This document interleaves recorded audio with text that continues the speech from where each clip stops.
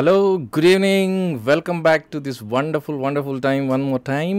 Uh, క్రొత్త సంవత్సరం చాలా ఉత్సాహంగా చాలామంది ప్రోగ్రామ్ స్టార్ట్ కాకముందే లైవ్లోనికి వచ్చేసినట్టు కనబడతా ఉంది వీఆర్ సో గ్లాడ్ దట్ దేవుడు మనకు మరొకసారి ఈ గొప్ప తరుణాన్ని ఇచ్చినందుకు దేవునికి వందనాలు చెల్లిస్తా ఉన్నాం చాలా చాలా యాంగ్షియస్గా ఎదురు చూసినటువంటి సమయం people have been expecting this and waiting for this for a long long time just one మంతే కానీ చాలా లాంగ్ అనిపించింది కదా.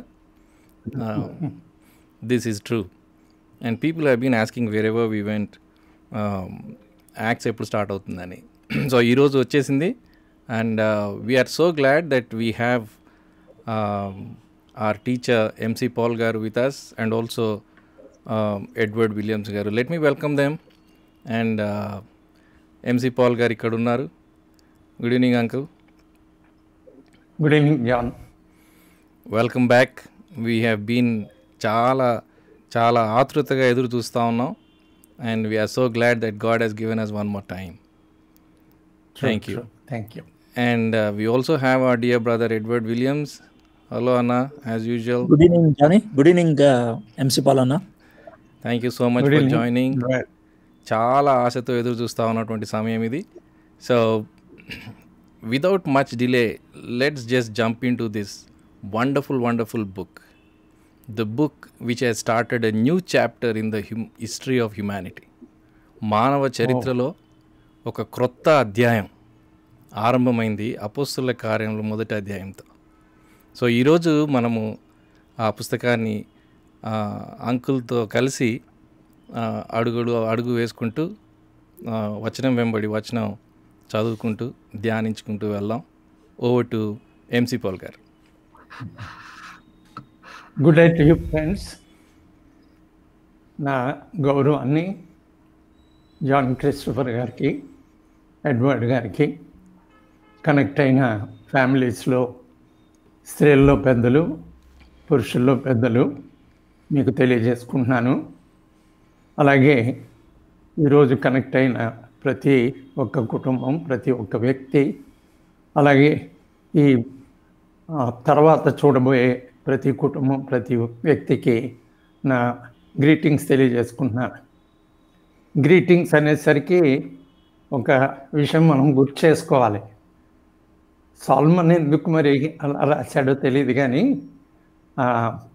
సామెతలు ఇరవై ఏడు పద్నాలుగులో అంటాడు వేకువనే లేచి తన స్నేహితుని గొప్ప శబ్దముతో దీవించు అని దీవెన అది శాపముగా ఎంచబడును. వేకుని లేచి. ఏంటి సంగతి అంటే కారణం ఏమీ లేకుండా అంగ్రీట్ చేసేసుకోవడం అనమాట hello brother does it have any meaning? అది ఆలోచించుకోవాలి? Hello sister.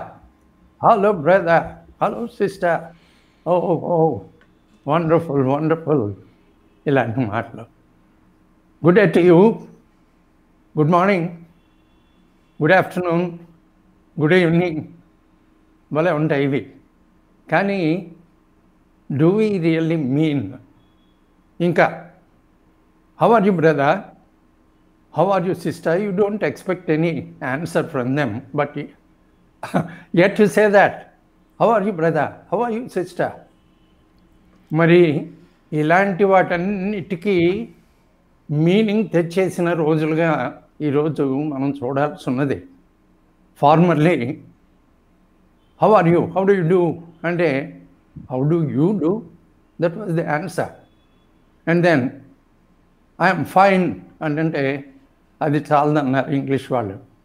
I'm doing good I'm very good ఈ రకమైన ఆన్సర్స్ వాళ్ళు ఎక్స్పెక్ట్ చేయటం. సో వాటికి మీనింగ్ వచ్చేయలేదు ఇప్పుడు. How do you do అనేప్పుడు with all meaning you are enquiring even before you say something you talk to people you enquire first how they are how he is how he how she is ఎలా ఉంది ఆమె? ఏంటంటే everyday situation మారుతున్న పరిస్థితులు. ప్రతిరోజు పరిస్థితులు మారుతూ ఉన్నప్పుడు అలాగా హౌ ఆర్ యు అంటంలో ఎంత మీనింగ్ ఉంది మీనింగ్ తెచ్చాడు. ఒకవేళ మనం మీనింగ్ కోల్పోయి గ్రీట్ చేసుకుంటూ వచ్చామేమో అలాంటి రోజులు దేవుడు కొట్టేసి మీనింగ్ తెచ్చాడు.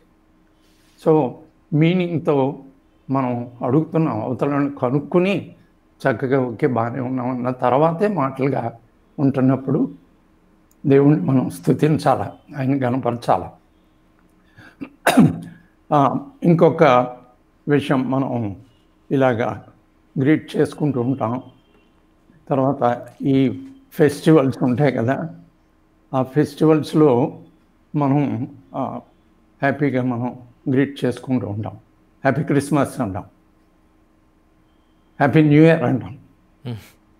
కాబట్టి వాటిని మనం ఆలోచించుకుని do we really want the other person to be happy because of Christmas do I really want the other person to be happy throughout the year so ఇలాంటిది ఆలోచించుకోవాలా? ఇంకొక దానికి మీనింగ్ తెచ్చాడు. When John was asking me about the next book ఏం చెప్పాలి నేను? ఎంత uncertainty ఎన్ని రకాల సంగతులు ఉంటాయి వన్ మంత్ అంటే సామాన్యమా? ఎనీథింగ్ కుడ్ హ్యావ్ హ్యాపెన్ ఏదైనా జరగడానికి అవకాశం ఉన్న వన్ మంత్ ఉన్నప్పుడు గాడ్ విల్లింగ్. మరి జేమ్స్ ఆ మాట వాడటం రేపు ఇది అంట ఇంకొక వ్యాపారం అంట. నీ జీవం ఏ పాటది అంటాడు? రేపు ఏం జరుగుతుందో నీకేం తెలుసు అంటాడు. అక్కడ దేవుని చిత్తం అయితే అంటాడు. కాబట్టి ఇప్పుడు దేవుడు meaning తెచ్చేశాడు. God willing. Yes God willing, we'll have. Now, God willed it, we have it. What do you mm. say, John? Exactly. exactly. what Edward? So yeah. How yes, true it is. Yeah. But I was, I was really, I, I was really excited when I was greeting all of you. Ah, ah, true. So, Mari, uh, children are Sangati. Okay. But John Sangati, He's is a young man, true. Uncertainties Of course. Edward Yes. thoroughly young uncertainties మీ సంగతి చెప్పండి. మీ సంగతి చెప్పండి. అందరం కలవటం God willed it Yeah. Yes. In spite of why do I say in spite of ఎన్నో losses personal losses true Hmm. మరి ఎందుకు మనల్ని ఉంచాడు? మస్ట్ బి సమ్ పర్పస్ ఏదో పర్పస్ ఉంది. లేకపోతే ఎందుకు ఉండాలా? ఎందుకు ఉండాలా? అవతల వాళ్ళు ఎందుకు లేరు? ఎందుకు నేను ఉన్నాను. This is the this is a very relevant question these days ఎందుకు ఉంచాడు? Happy happy new year happy a happy and purposeful new year అన్నమాట ఇది. Yes. ఉద్దేశంతో ఉంచాడు. ఆ ఉద్దేశం ప్రకారం ఉండాలి?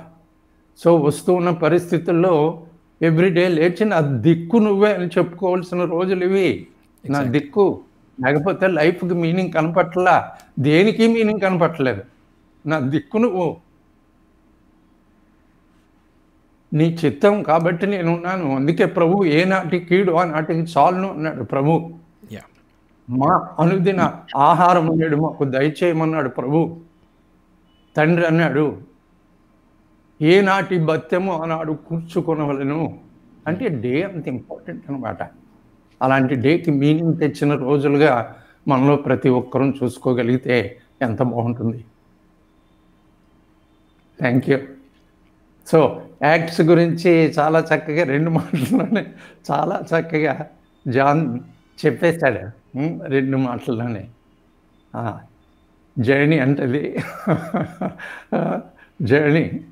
So together we're in a journey both in the book of the book Yes. మన జర్నీ ఆ రకంగా మనం ఈ రోజున జర్నీలోనే ఉన్నాం. సో చాలా సంతోషం. ఈ డాక్టర్ లూక్ అంటారు ఈయన్ని. డాక్టర్ లూక్ గ్రంథం రాసిన ఆయన. ఎందుకు పౌలు తెలియజేశాడు? లూకాను వైద్యుడు ఆయన మాత్రం నా దగ్గర ఉన్నాడు. లూక్ ఆయన మరి వృత్తి చూస్తే వైద్యుడు.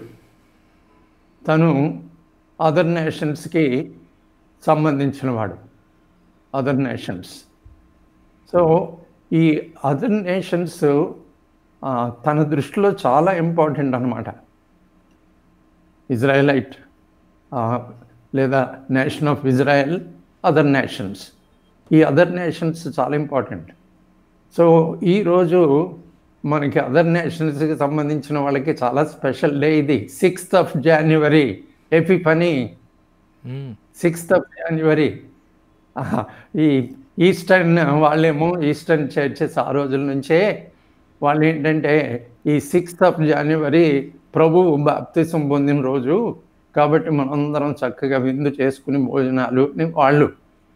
వెస్టర్న్ చర్చ్ ఏమో ఇది ఈ ఈ అదర్ నేషన్స్కి సంబంధించిన wise men Magi or kings వాళ్ళు ప్రభువుని దర్శించుకోవడానికి వచ్చిన రోజు ఇది. స్టార్ వాళ్ళని లీడ్ చేసింది. సో ఇంటి ముందు స్టార్స్ మనం సిక్స్త్ జనవరి వరకు దర్జాగా ఉంచుకోవచ్చు. ఈ రోజు అయిపోయిన తర్వాత స్టార్స్ ఆపేయటం మంచిది. ఒకవేళ స్విచ్ చేసి మర్చిపోతూ ఉంటారు. పగలు రాత్రులు వెలుగుతూనే ఉంటాయి. Don't care about power don't care about bills అలాగా డెకరేషను. సో ఆ ఈ రోజుతో మనం ఆపేసుకోవచ్చు. డేస్ అంత ఇంపార్టెంటా ఎందుకు కాదు? డేట్స్ అంత ఇంపార్టెంటా ఎందుకు కాదు? గ్రంథమేమో చరిత్రతో ముడిపడి ఉన్న గ్రంథం దేవుడు ప్రోగ్రెసివ్గా చరిత్ర చరిత్రలో తను తాను బయలుపరుచుకుంటూ వచ్చిన వాడయ్యే చరిత్ర గ్రంథానికి అంత ఇంపార్టెంట్ అయ్యే. సో ఈ విజ్డమ్ లిటరేచరు అది స్పోకెన్ విజ్డమ్గా విజ్డమ్ ఇన్ ఓరల్ విజ్డమ్గా ఉంటున్న రోజులు ఈ wisdom literature two thousand five hundred బీసీలో ఈజిప్ట్లో రిటర్న్ విజ్డమ్ లిటరేచర్ అయిపోయిందంట. అంటే చూడండి ఈ లిపి అనేది ఎప్పుడు వచ్చేసిందో. ఆ తర్వాత సుమేరియన్ ఈస్టర్న్ ప్రాంతాలంతా లిపి. కాబట్టి ఎప్పుడైతే లిపి ఈజిప్ట్లో ఉందో ఈ మోషే ఆయన అన్నిట్లో ప్రావీణ్యత గలవాడు అని అన్నప్పుడు ఎంత ఎడ్యుకేటెడ్ పర్సన్ అయి ఉండాలి? అలాంటి టాప్ లెవెల్ ఎడ్యుకేషన్ తను ఈజిప్ట్లో ఆనాటిది. సో ఈ ఈ ఎప్పటికప్పుడు ఆ జనరేషన్స్లో ఉన్న టాప్ మోస్ట్ అనే పద్ధతులు ఈ ఇప్పుడు సంగతులతో పోల్చి ఆలోచించకూడదు. అప్పుడు టాప్ మోస్ట్ అంటే టాప్ మోస్ట్. మోస్ట్ ఎడ్యుకేటెడ్ అంటే మోస్ట్ ఎడ్యుకేటెడ్. అప్పుడు గ్రేట్ ఫిలాసఫర్ అంటే great philosopher. Most important philosopher అంటే మోస్ట్ ఇంపార్టెంట్ అంతే. సో అప్పటివప్పుడే దెన్ ఓన్ వరల్డ్లో టాప్ అంటే టాప్ అంతే. అలాంటి వాడు మరి ఈ ట్రెడిషనల్గా తనకి అందిన సమాచారం దగ్గర ఉంచుకున్నాడు. Tradition which is handed down ఎలా హ్యాండ్ డౌన్ అయింది నాలుగు అంగల్లో బిలీవ్ మీ నాలుగు అంగల్లో అబ్రహాం వరకు ట్రెడిషన్ అందించబడింది. ఎలాగూ? ఈ షేత్ నుండి చూడండి. ఏడు ఏడు వందలు ఎనిమిది వందలు తొమ్మిది అలా బతుకుతుంటే వంద ఏళ్ళ లోపునే కొడుకులు పుడుతూ ఉంటే వాడు పెరుగుతూ ఉంటే ఒక ఆరేడు జనరేషన్స్కి ఆ మూల పురుషుడు సమాచారం అందించడం ఎందుకు ఆశ్చర్యపోవాలా. అలాగా ఒక అంగ ఇంకొక అంగ ఇంకొక అంగ నాలుగు అంగలకెళ్ళా అబ్రహాం చేతిలో సమాచారం ట్రెడిషన్. సో ఇలాంటి ట్రెడిషన్ అది అందుకుని మోషే రైట్ మార్చేశాడు. Then God reveal to him. ఎందుకు జెనిసిస్ లేదా ఫస్ట్ ఫైవ్ బుక్స్ రాయగలిగాడు? రాస్తాడు. One tradition and the other one revolution దేవుడు రాయించాలని ఉద్దేశించి పరిశుద్ధాత్మ ద్వారా ప్రేరేపించి రాయించేప్పుడు రాయబడింది. కాబట్టి day one two three four five six seven. So count. Things began with count numbering మాకు జ్ఞాన హృదయం కడుగునట్లుగా చేయము. Yes. మా దినములు లెక్కించకు మాకు నేర్పము అంటే మరి ఆ డేట్స్ ఏంటి అనేవాళ్ళు దయచేసి ఆలోచించుకోండి ఎందుకు వచ్చిన మాటలు ఇలాంటి మాటలు ఎందుకు వచ్చిన మాటలు? అందుకే మనకి చర్చ్ హిస్టరీ అంటే ఏమీ కాకుండా కొంతమందికి ఏమి ఏమీ కాకుండా ఎలాగా చేతిలో బైబిల్ చూస్తేనే మనకి ఎలా వచ్చింది అనేది కాసేపు అన్నా ఆలోచించకపోతే ఏమనాలా? అది ఇన్గ్రాటిట్యూడ్ ఇన్గ్రేట్ఫుల్ పీపుల్ అంటారు అలాంటి వాళ్ళని. ఇన్గ్రేట్ఫుల్ సో పరిశుద్ధులకు ఒక్క మారే అప్పగించబడిన బోధ ఈ రోజుకి మనకు అందింది అంటే ఇది ఈ ట్రెడిషన్లో see the number of fans see the number of generations see the number of even ఈ ట్రాన్స్లేట్ చేసిన వాళ్ళని గుర్తు తెచ్చుకుని వాళ్ళ విషయంలో సంతోషపడిపోవడం వాళ్ళకి కృతజ్ఞత చెప్పుకోవడం నేర్చుకోవాలి? మనమే స్కాలర్సా? మనకి మనమే ఫిలాసఫర్సా? మనకే అండర్స్టాండింగా మనమే ఉపదేశకుమా వాళ్ళు ట్రాన్స్లేట్ చేసి ఇవ్వకపోతే where would we have stood ఎక్కడుండే వాళ్ళం? ప్రాణాలు పెట్టేశారు. ట్రాన్స్లేట్ చేసే విషయంలో. మన చేతుల్లోకి రిఫార్మేషన్ టైంలో మన చేతుల్లోకి తేవటానికి ప్రాణం పెట్టేశారు. ఇంకో రకమైన బందీ స్క్రిప్చర్స్ అలాంటి బందీ అయిపోయిన స్క్రిప్చర్స్ని మనకి తీసుకొచ్చారు. మరి ఇలాంటి విషయాలన్నింటిలో గుర్తుపెట్టుకుని ఆహా dates very important. Yes. So on 6th, the day of Epiphany, Happy Christmas once again. then Happy Christmas. January 1st, 1, 2, 3, 4, 5, 6. Happy New Year. A happy and a purposeful, purposeful New Year to each one of you. To you. To you. So thank you. ఇలాంటి meaning తెచ్చిన దేవునికి నా కృతజ్ఞతలు తెలియజేసుకుంటున్నాను. ప్రతి వర్డ్కి ఆయన ఈ రోజున మీనింగ్ తెస్తున్నాడు ఎందుకో మరి. ప్రతి దానికి పర్పస్ ఉంది కాబట్టి let us know the purpose for which he put us here which he allowed us to enter into the new year the purpose దిక్కు నువ్వే నీ ఉద్దేశం ఏంటో నాకు చూపిస్తే దాని ప్రకారం నేను వెళ్ళిపోతాను. అలా చెప్పాలి. సో లూక్ డాక్టర్ లూక్ ఆయనే రాశాడని ఎందుకు అనుకోమని ఇలాంటి మాటలు మాట్లాడేవాళ్ళు ఉంటారు. ఎక్స్టర్నల్ ఎవిడెన్స్ అనేది ఉంది. ఎక్స్టర్నల్ ఎవిడెన్స్ ఉంది.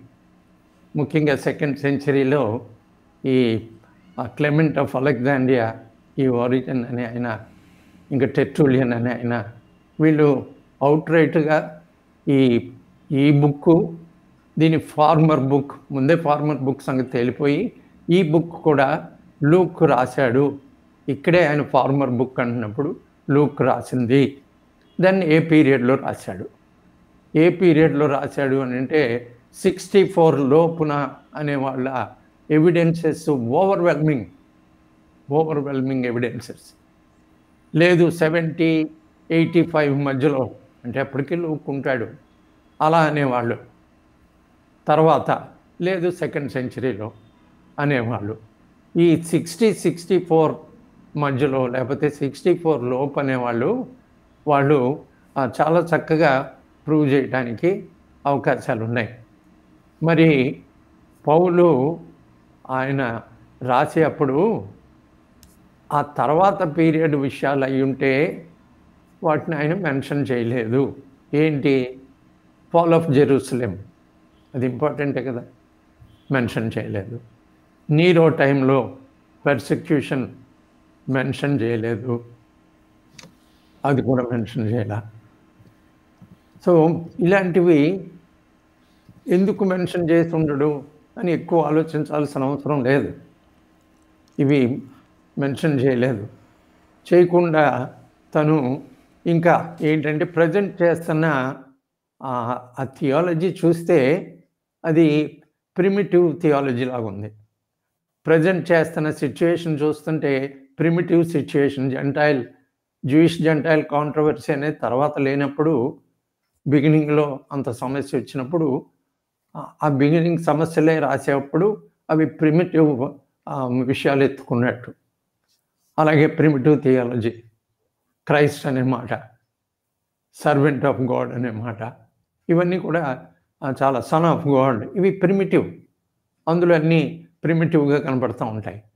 ఇవి మనం చూసి ఈజీగా మనం తేల్చేసుకోవచ్చు. అంతేకాకుండా ఈ ఆ డేస్లో ఏంటంటే Christianity in a way was a was as free as Judaism ఆ పద్ధతే కనబడతా ఉంటుంది. తను మెన్షన్ చేసే సిచ్యుయేషన్స్ అవి మనకి యాక్ట్స్ ఆఫ్ ద అపోజిల్స్లో ఆ తెస్సలోనికాలో కనబడే సిచ్యుయేషన్ కానీ లేకపోతే తర్వాత ఎఫ్ఎస్లో కనబడే సిచ్యుయేషన్ కానీ ఇలాంటివన్నీ కూడా ఏమనిపిస్తుంది అంటే ఇవి వాటి గురించి మనకి మంచి కనపడుతూ ఉంటుంది. అంటే రోమన్ రూల్ క్రిస్టియానిటీ విషయంలో ప్రెజుడిస్డ్ రూల్ కాదు అన్నట్టు కనపడుతుంది. మరి నీరో తర్వాత అలా కుదరదు కదా? డొమిషియన్ వచ్చిన తర్వాత కుదరదు కదా? ఇలాంటివి గమనించి అయితే లూక్ రాసి ఉంటాడు దానికి తోడు ఏంటంటే ఆ వి సెక్షన్స్ అని ఉంటాయి. మనకి అపోస్తల కార్యాల్లో ఇలాంటి ఆయన నుంచి నేర్చుకోవాలా? ఆ మొదటి ప్రొలోగ్ రాసేప్పుడు లూక్లో ఐ అని వాడతాడు కానీ తను ఎవడో ఎవరో చెప్పడు. తర్వాత ఇక్కడ ప్రోలోగ్లో కూడా ఐ అని వాడతాడు కానీ తను ఎవరో చెప్పడు. అది ఏంటో అంత తర్వాత ఈ దే అంటాడు. థర్డ్ పర్సన్ ప్లూరల్ వాడుకుంటూ వాడుకుంటూ వెళ్ళి ఫస్ట్ పర్సన్కి వచ్చేయచ్చు కదా. ఐ అని రావచ్చు కదా సింగులర్కి రాడు. వి అంటాడు. భాష కాబట్టి మనం ఎవరి గురించి అన్న మాట్లాడేప్పుడు జాన్ అండ్ ఐ అని అంటాం నేర్చుకోవాలా? తర్వాత ఎడ్వర్డ్ జాన్ అండ్ ఐ అని చెప్పిన తర్వాత వీలోకి వెళ్ళిపోవచ్చు. అంటే ఐడెంటిటీ స్పెసిఫిక్గా పర్సన్స్కి విషయం అవసరమైనప్పుడు వాడాలా? మిగతా అప్పుడు వీ అని మాట్లాడుకుంటూ వెళ్ళాలి. కాబట్టి వీ సెక్షన్స్ మనకి యాక్ట్స్ పదహారులో ఐదు నుండి సారీ పది నుండి పదిహేడు వరకు వి సెక్షన్ యాక్ట్స్ పదహారు.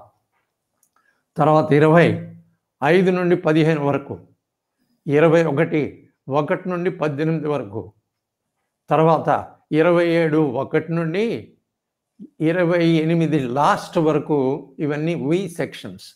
మరి ఎవరి వి? తిమోతి అవటానికి ఎలా అవకాశం ఉంటుంది? సైలెస్ అవటానికి ఎలా అవకాశం ఉంటుంది? సోసిపత్రు అనే ఆయన ఆయన అవటానికి ఎలా అవకాశం ఉంటుంది? కుదరట్లేదే. టికికస్ అవటానికి ఎలా అవకాశం ఉంటుంది?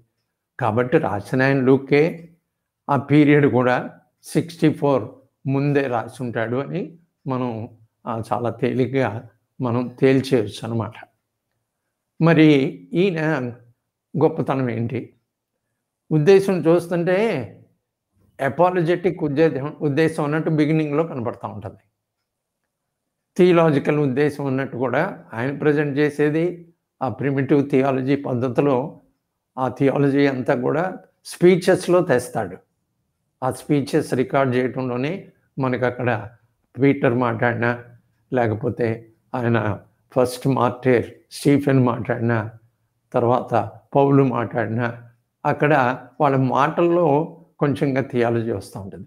కాబట్టి though his intention was to present an apologetic matter and though his intention was to present theological content he was a true historian ఎలాగూ ఈ హిస్టోరియన్స్కి వాళ్ళు టైమ్ అండ్ స్పేస్ ఈవెంట్స్కి చాలా ఇంపార్టెన్స్ ఇస్తారు. లేకపోతే హిస్టరీ ఎలా అవుతుంది? హిస్టరీ అనబడాలంటే ఒక పర్సన్ ఉండాలా? ఒక టైం ఉండాలా? ఒక ఏమంటాం సిచ్యుయేషన్ ఉండాలి. Person time and situation and a place అప్పుడు దాన్ని మనం ఒక ఈవెంట్గా చెప్పచ్చు అనమాట so narratives full of narratives when people give full of narratives and if they try to present those in a particular order history దాని అంతటదే రైజ్ అయిపోద్ది. వచ్చేస్తుంది హిస్టరీ మరి లూక్ తను వాళ్ళ గురించి రాసేప్పుడు వన్ ట్వంటీ సిక్స్లో మేరీ గురించి రాసేప్పుడు ఎంత బ్యూటిఫుల్గా ఉంటుందో. ఆరు నెలలో ఎందుకు ఐదు నెలల సంగతుల ముందు రాశాడు. గబ్రియేలోని దేవదూత గలిలేలోని నజరేతను ఊరిలో దావీదు వంశస్థుడైన యోసేపు అను ఒక పురుషునికి ప్రదానం చేయబడిన కన్యక యొద్దకు దేవుని చేత పంపబడును. ఆ కన్యక పేరు మరియా ఈ see a person here Mary. And then then you see a place గలిలేలోని Nazareth అను ఊరిలో. Nazareth in Galilee Nazareth village Galilee then ఒక డిస్ట్రిక్ట్ అని అనొచ్చు మనం అలాగా. తర్వాత ఒక సిచ్యుయేషన్. ఏంటి సిచ్యుయేషన్ అంటే షీ వాజ్ ఓన్లీ బెట్రోత్డ్. ఆ సిచ్యుయేషన్ స్పష్టంగా చూపిస్తున్నాడు. Only betrothed situation. So person Mary time in the sixth month and then place Nazareth in Galilee and a situation. She was only betrothed. ఇలాగా. కాబట్టి హిస్టరీ ఈయన historian ఈ intellectual అని ఎలాగూ కనబడిపోద్ది.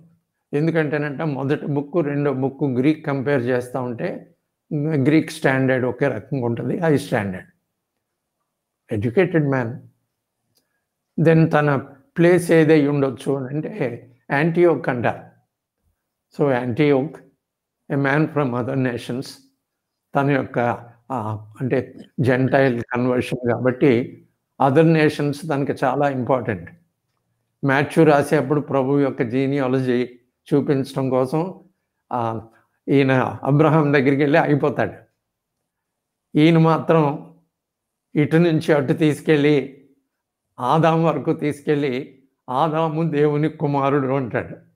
అంటే మనం అందరం మొత్తం యూనివర్స్ని ఇంక్లూడ్ చేసే యూనివర్సల్ పద్ధతి తనలో మొదటి నుంచి ఆఖరి వరకు అదే పద్ధతి తనలో కనబడుతూ ఉంటుంది.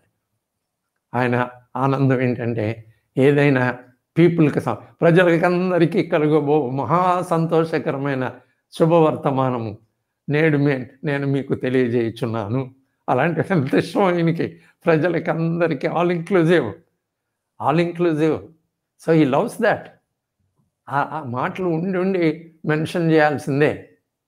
కాబట్టి తన ఫార్మర్ బుక్ అన్నప్పుడు అది లూక్ అని ఈజీగా ఐడెంటిఫై చేస్తారు. దానికి తోడే కామన్ పర్సన్ ఒక వ్యక్తిని అడ్రస్ చేస్తున్నాడు. ఓ థియోఫిలా అంటాడు. ఇప్పుడు అక్కడేమో ఆయన మోస్ట్ ఆనర్డ్ అన్నట్టు ఆ థియోఫిలాస్ అంటాడు అక్కడ. ఏంటిది? అర్థం తీసి అసలు ఎవరైనంటే ఐడెంటిఫై చేయలేకపోయారు కాబట్టి అర్థం తీస్తే లవ్డ్ బై గాడ్ లేదా లవింగ్ గాడ్. ఆ అర్థంతో ఊరికే జనరల్ నేమ్ పెట్టాడా అనే ఆలోచన కొంతమందికి. లేదే జనరల్ నేమ్ అయితే అపాలజెటిక్ పద్ధతులు ఎందుకు రాయాలి? ఇది అంటే ఈ కొంతమంది ఏమంటారంటే ఈ డొమిషన్ కజిన్ అయి ఉంటాడు.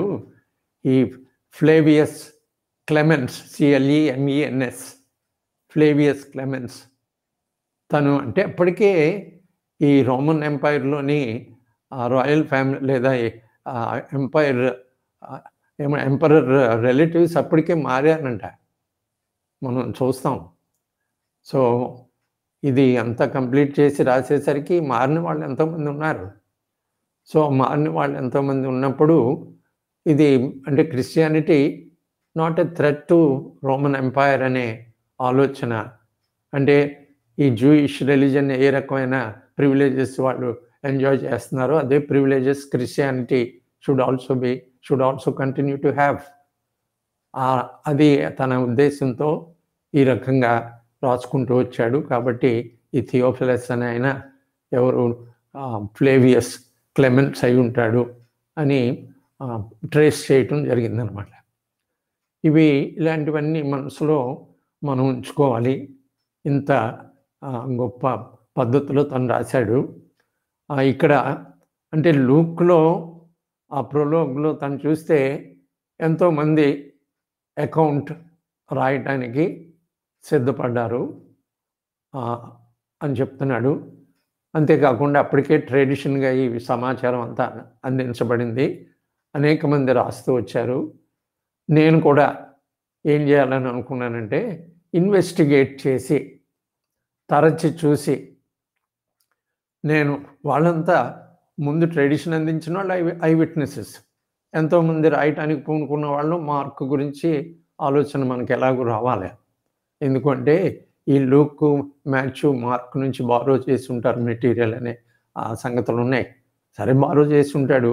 కానీ ఈ లూక్ సంగతులు ఏంటి అంటే తను ఇక్కడ ఎక్కడ అదేంటి మన జెరూసలేంకి అంటే ఓ టూ టూ ఇయర్స్ పాటు ఇంప్రిజన్మెంట్లో ఉండిపోయాడు. ఆ place John or Edward. Paul ఇనీషియల్గా రోమ్కి వెళ్ళి ఫిఫ్టీ సెవెన్ ఫిఫ్టీ నైన్ మధ్యలో అన్న. కాదమ్మా ఆ ప్లేస్ ఏంటి చెప్పు అది ఆ సీషోర్ దాదాపు Caesarea? Right thank you. Caesarea. అక్కడ మరి పౌలు చెరసాలలో ఉంటే తను కూడా ఉంటే మొత్తం సమాచారం జెరూసలేంలో పౌలు ఇబ్బందులు పడుతున్నప్పుడు తను కూడా తిరుగుతూ ఉంటే ఇన్ఫర్మేషన్ రోమ్ వచ్చేసి అక్కడ ఫ్రీగా ఉంటూ ఉన్నప్పుడు ఎంతోమంది ఉన్నారు అందరి నుంచి సేకర కాబట్టి ఏమంటారంటే ఈవెన్ ఫ్రమ్ మేరీ తను ఇన్ఫర్మేషన్ తీసుకున్నాడు. సో ఇంకా అలాగే ఎవరు పీటర్ దగ్గర ఇంకెవరి నుంచి అయినా సరే కాబట్టి రిటర్న్ డాక్యుమెంట్స్ని బారో చేయటం న్యాచురల్ తర్వాత తనకి సమాచారం కావాలంటే ఎక్కడ కావాలంటే అక్కడ సంపాదించుకోవడం అది కూడా అంటే ఏమంటాం దాన్ని సింపుల్గా మనం ఊహించుకోవాల్సిన విషయం. ఇలాంటిది ఏదో కష్టం ఎక్కడి నుంచి తెచ్చాడు సమాచారం ఇలాగని మనం అనుకోనక్కర్లా. సో ఈ కైసరయాలో ఫిలిప్ ఇంట్లో ఉన్నప్పుడు ఫిలిప్ చెప్పడా? లేకపోతే నలుగురు డాక్టర్స్ వాళ్ళు చెప్పరా? ఎక్కడి నుంచైనా తను అప్పటికే వాళ్ళు కొంచెం కొంచెం రాస్తూ ఉంటే వాళ్ళ దగ్గర తీసుకుని తను చూసుకుని ఇవి కాదా కరెక్టా కాదా అని ఇన్వెస్టిగేట్ చేసుకుంటూ ఆ రకంగా mine is an orderly account అంటాడు. An orderly account. సో ఇక్కడ కూడా తను అదే పద్ధతిలో ఈ థియోఫిలాకి రాస్తూ ఆయన అలాగే ఆర్డర్లీ అకౌంట్గానే ఆ, సంబంధించిన విషయాలు ప్రజెంట్ చేయడానికి పూనుకున్నట్టు మనం అర్థం చేసుకోవాలి. కాబట్టి ట్రూ హిస్టోరియన్ పరి సంగతులు ఏంటంటే తను సోర్సెస్ ఉంటాయి. తను ఐ విట్నెస్గా ఉన్నాయి ఎలాగూ రాస్తాడు. అంతేకాకుండా తను ట్రెడిషన్గా ఉన్న అంద అప్పటికే అందించబడిన సమాచారం తెచ్చుకుంటాడు. ఒక్కొక్కరిని ఇంటర్వ్యూ చేస్తాడు.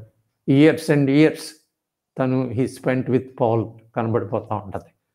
అలాంటి ఇయర్స్ అండ్ ఇయర్స్లో ఇంత సమాచారం తనకు రావటంలో ఎవరు ఆశ్చర్యపోనక్కర్లా.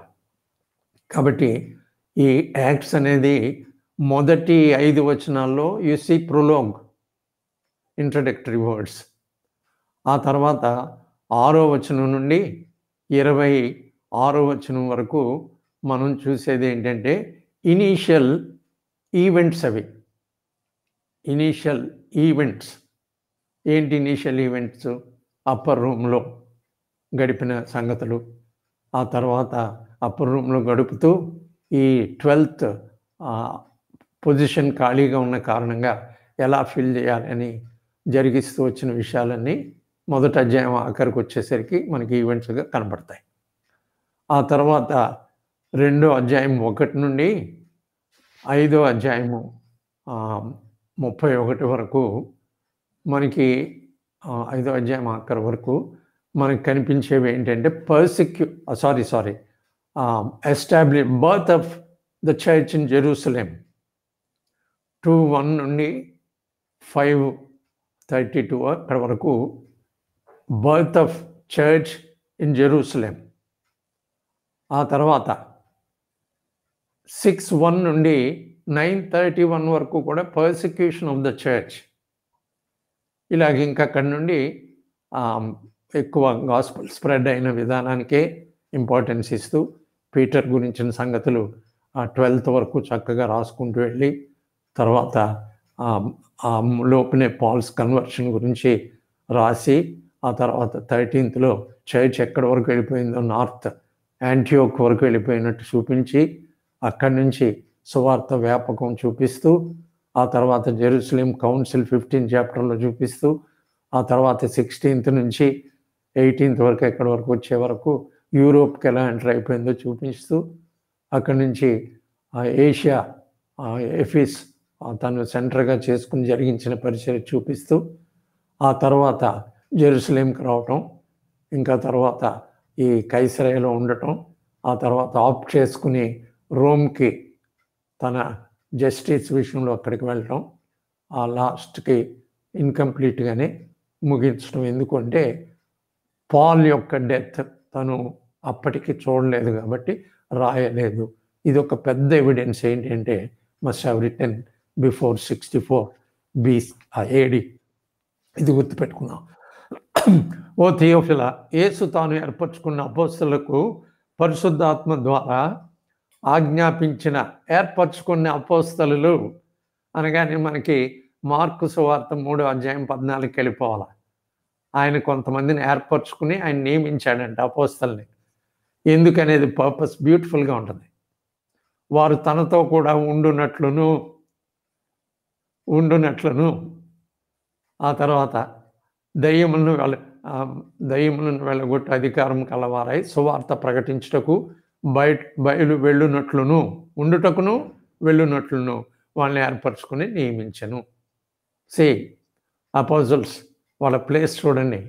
Place them there they have a definite place in at a point of time in history apostles పంపబడిన వాళ్ళు వాళ్ళు. ఓకే బట్ ఏర్పరచబడి నియమించబడిన వాళ్ళుగా చూడండి. కాబట్టి ముందు ఏర్పరచుకొని అనేది మొదలుపెట్టి అపోస్తలకు మొదలుపెట్టి మాట్లాడుతున్నాడు. ఆ తర్వాత ఆయన పరమునకు చేర్చుకొనబడిన దినం వరకు ఆయన చేయుటకును బోధించుటకును ఆరంభించిన వాటన్నిటిని గూర్చి తర్వాత ఆయన శ్రమపడిన తర్వాత నలువది దినముల వరకు వారికి అగపడుచు దేవుని రాజ్యములను గూర్చి రాజ్య విషయములను గూర్చి బోధించచ్చు. అంటే ఏర్పరచుకున్నాడు వాళ్ళకి ప్రత్యక్షపరుచుకున్నాడు. తర్వాత వాళ్ళకి ఏంటంటే అంటే కమిషన్ ఆర్డర్ చేశాడు ఆజ్ఞాపించాడు. ఆర్డర్ చేశాడు.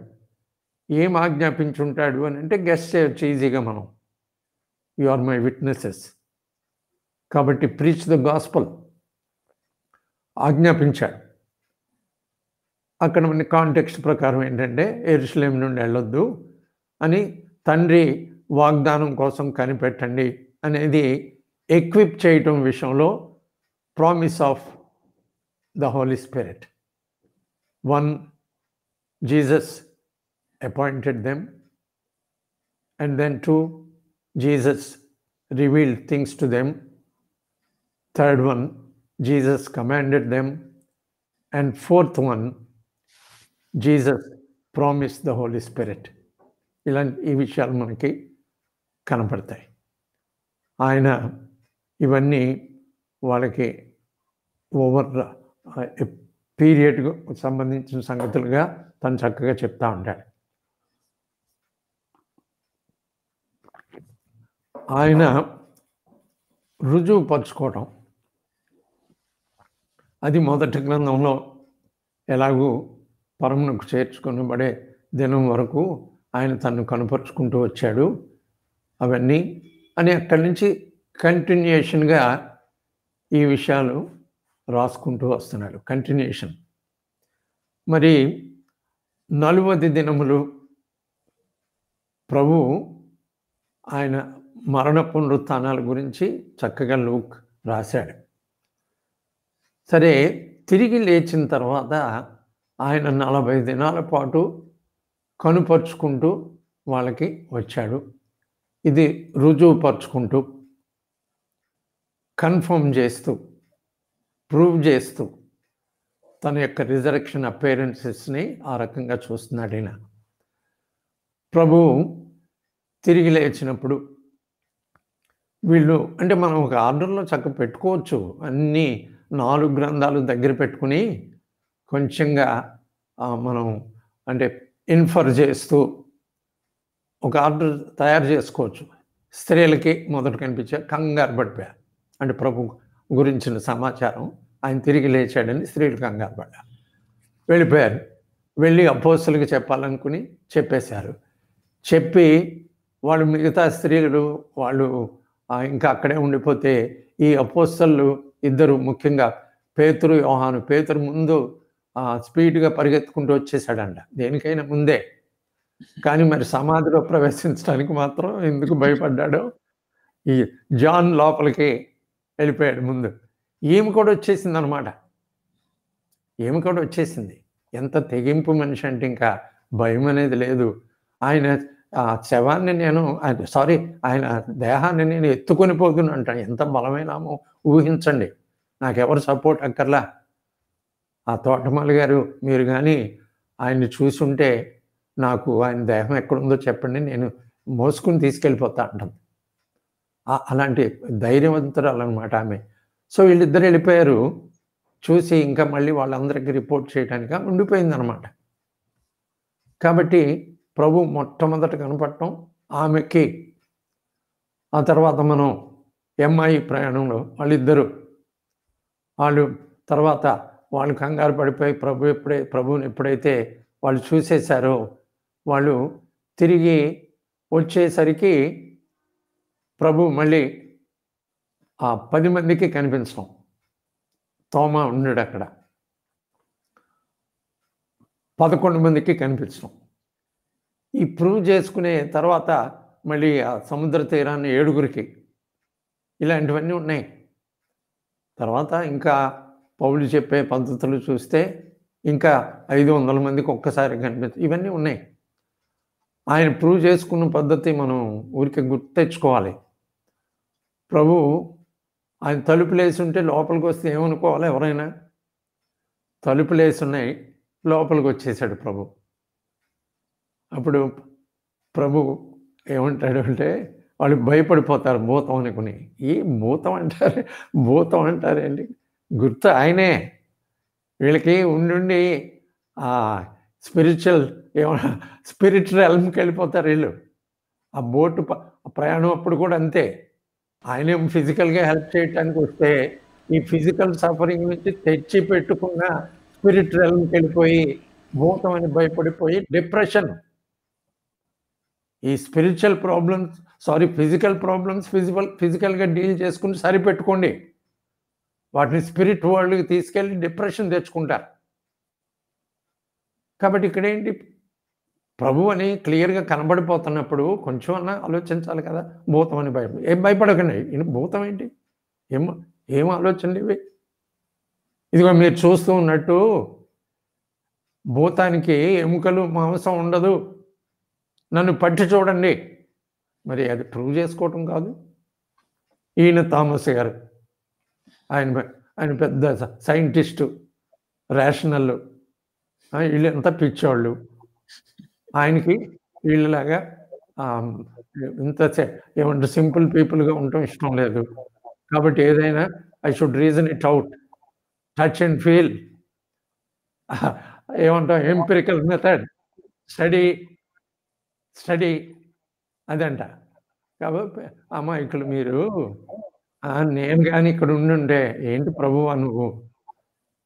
మీరు ఎలాగో పోతామని భయపడ్డారు నేను కానీ ఉండుంటే ప్రభా ఏంటి నువ్వు? నేను ధైర్యంగా వెళ్తాను ఫేస్ చేస్తా. ఏంటి నువ్వు? నిజంగా ప్రభు అయితే ఇదిగో లెట్ మీ ఫీల్ యూ నీ చేతిలో నా వేలు పెట్టి చూడాలి? నీ ప్రక్కలో నా చేయి పెట్టి చూడాలి? అప్పుడు కదా నేను నమ్మేది అని అని వీళ్ళని ఫూల్స్గా చేసి ఉంటే ప్రభు మళ్ళీ వచ్చాడు. వచ్చేసరికి ఒక్కసారిగా ఇంకా మనిషి సెన్సెస్కి వచ్చాడు. హిస్ రీజనింగ్ వాజ్ అంటే హీ లెట్ ఇట్ అవుట్. ఇంకా స్టడీ లేదు ఎంపరికల్ మెథడ్ లేదు అబ్జర్వేషన్ లేదు ఏమీ లేవు. ఒక్కసారి నా ప్రభువా నా దేవా? My Lord my God that was initial confession అది. తర్వాత తర్వాత ఇలాంటివే క్రీడ్లోకి వచ్చేవి. మై లార్డ్ మై గాడ్ ప్రభు ప్రూఫ్ ఎలాగో తెలుసు? మీ దగ్గర మీ దగ్గర ఏమైనా ఉందా? తింటానికి అన్నాడు. అది కొంచెం ఈవెంట్స్ అటు ఇటు ఉంటాయి. ఉందా అంటే అని వాళ్ళు చేప తీశారంట. ఏంటి తినటానికి అంటాడేంటి ఇలా? అని చేప తీసి ఆయన తీసుకుని చక్క ఫ్రై అదే స్మోక్ ఏదో అంటారు కదా స్మోకింగ్ అంటారా? అమ్మో చాలా టేస్టీ అంటది. వీళ్ళిద్దరూ గ్యారెంటీగా తినే ఉంటారు. బార్బెక్యూ. స్మోకింగ్. బార్బిక్యూ.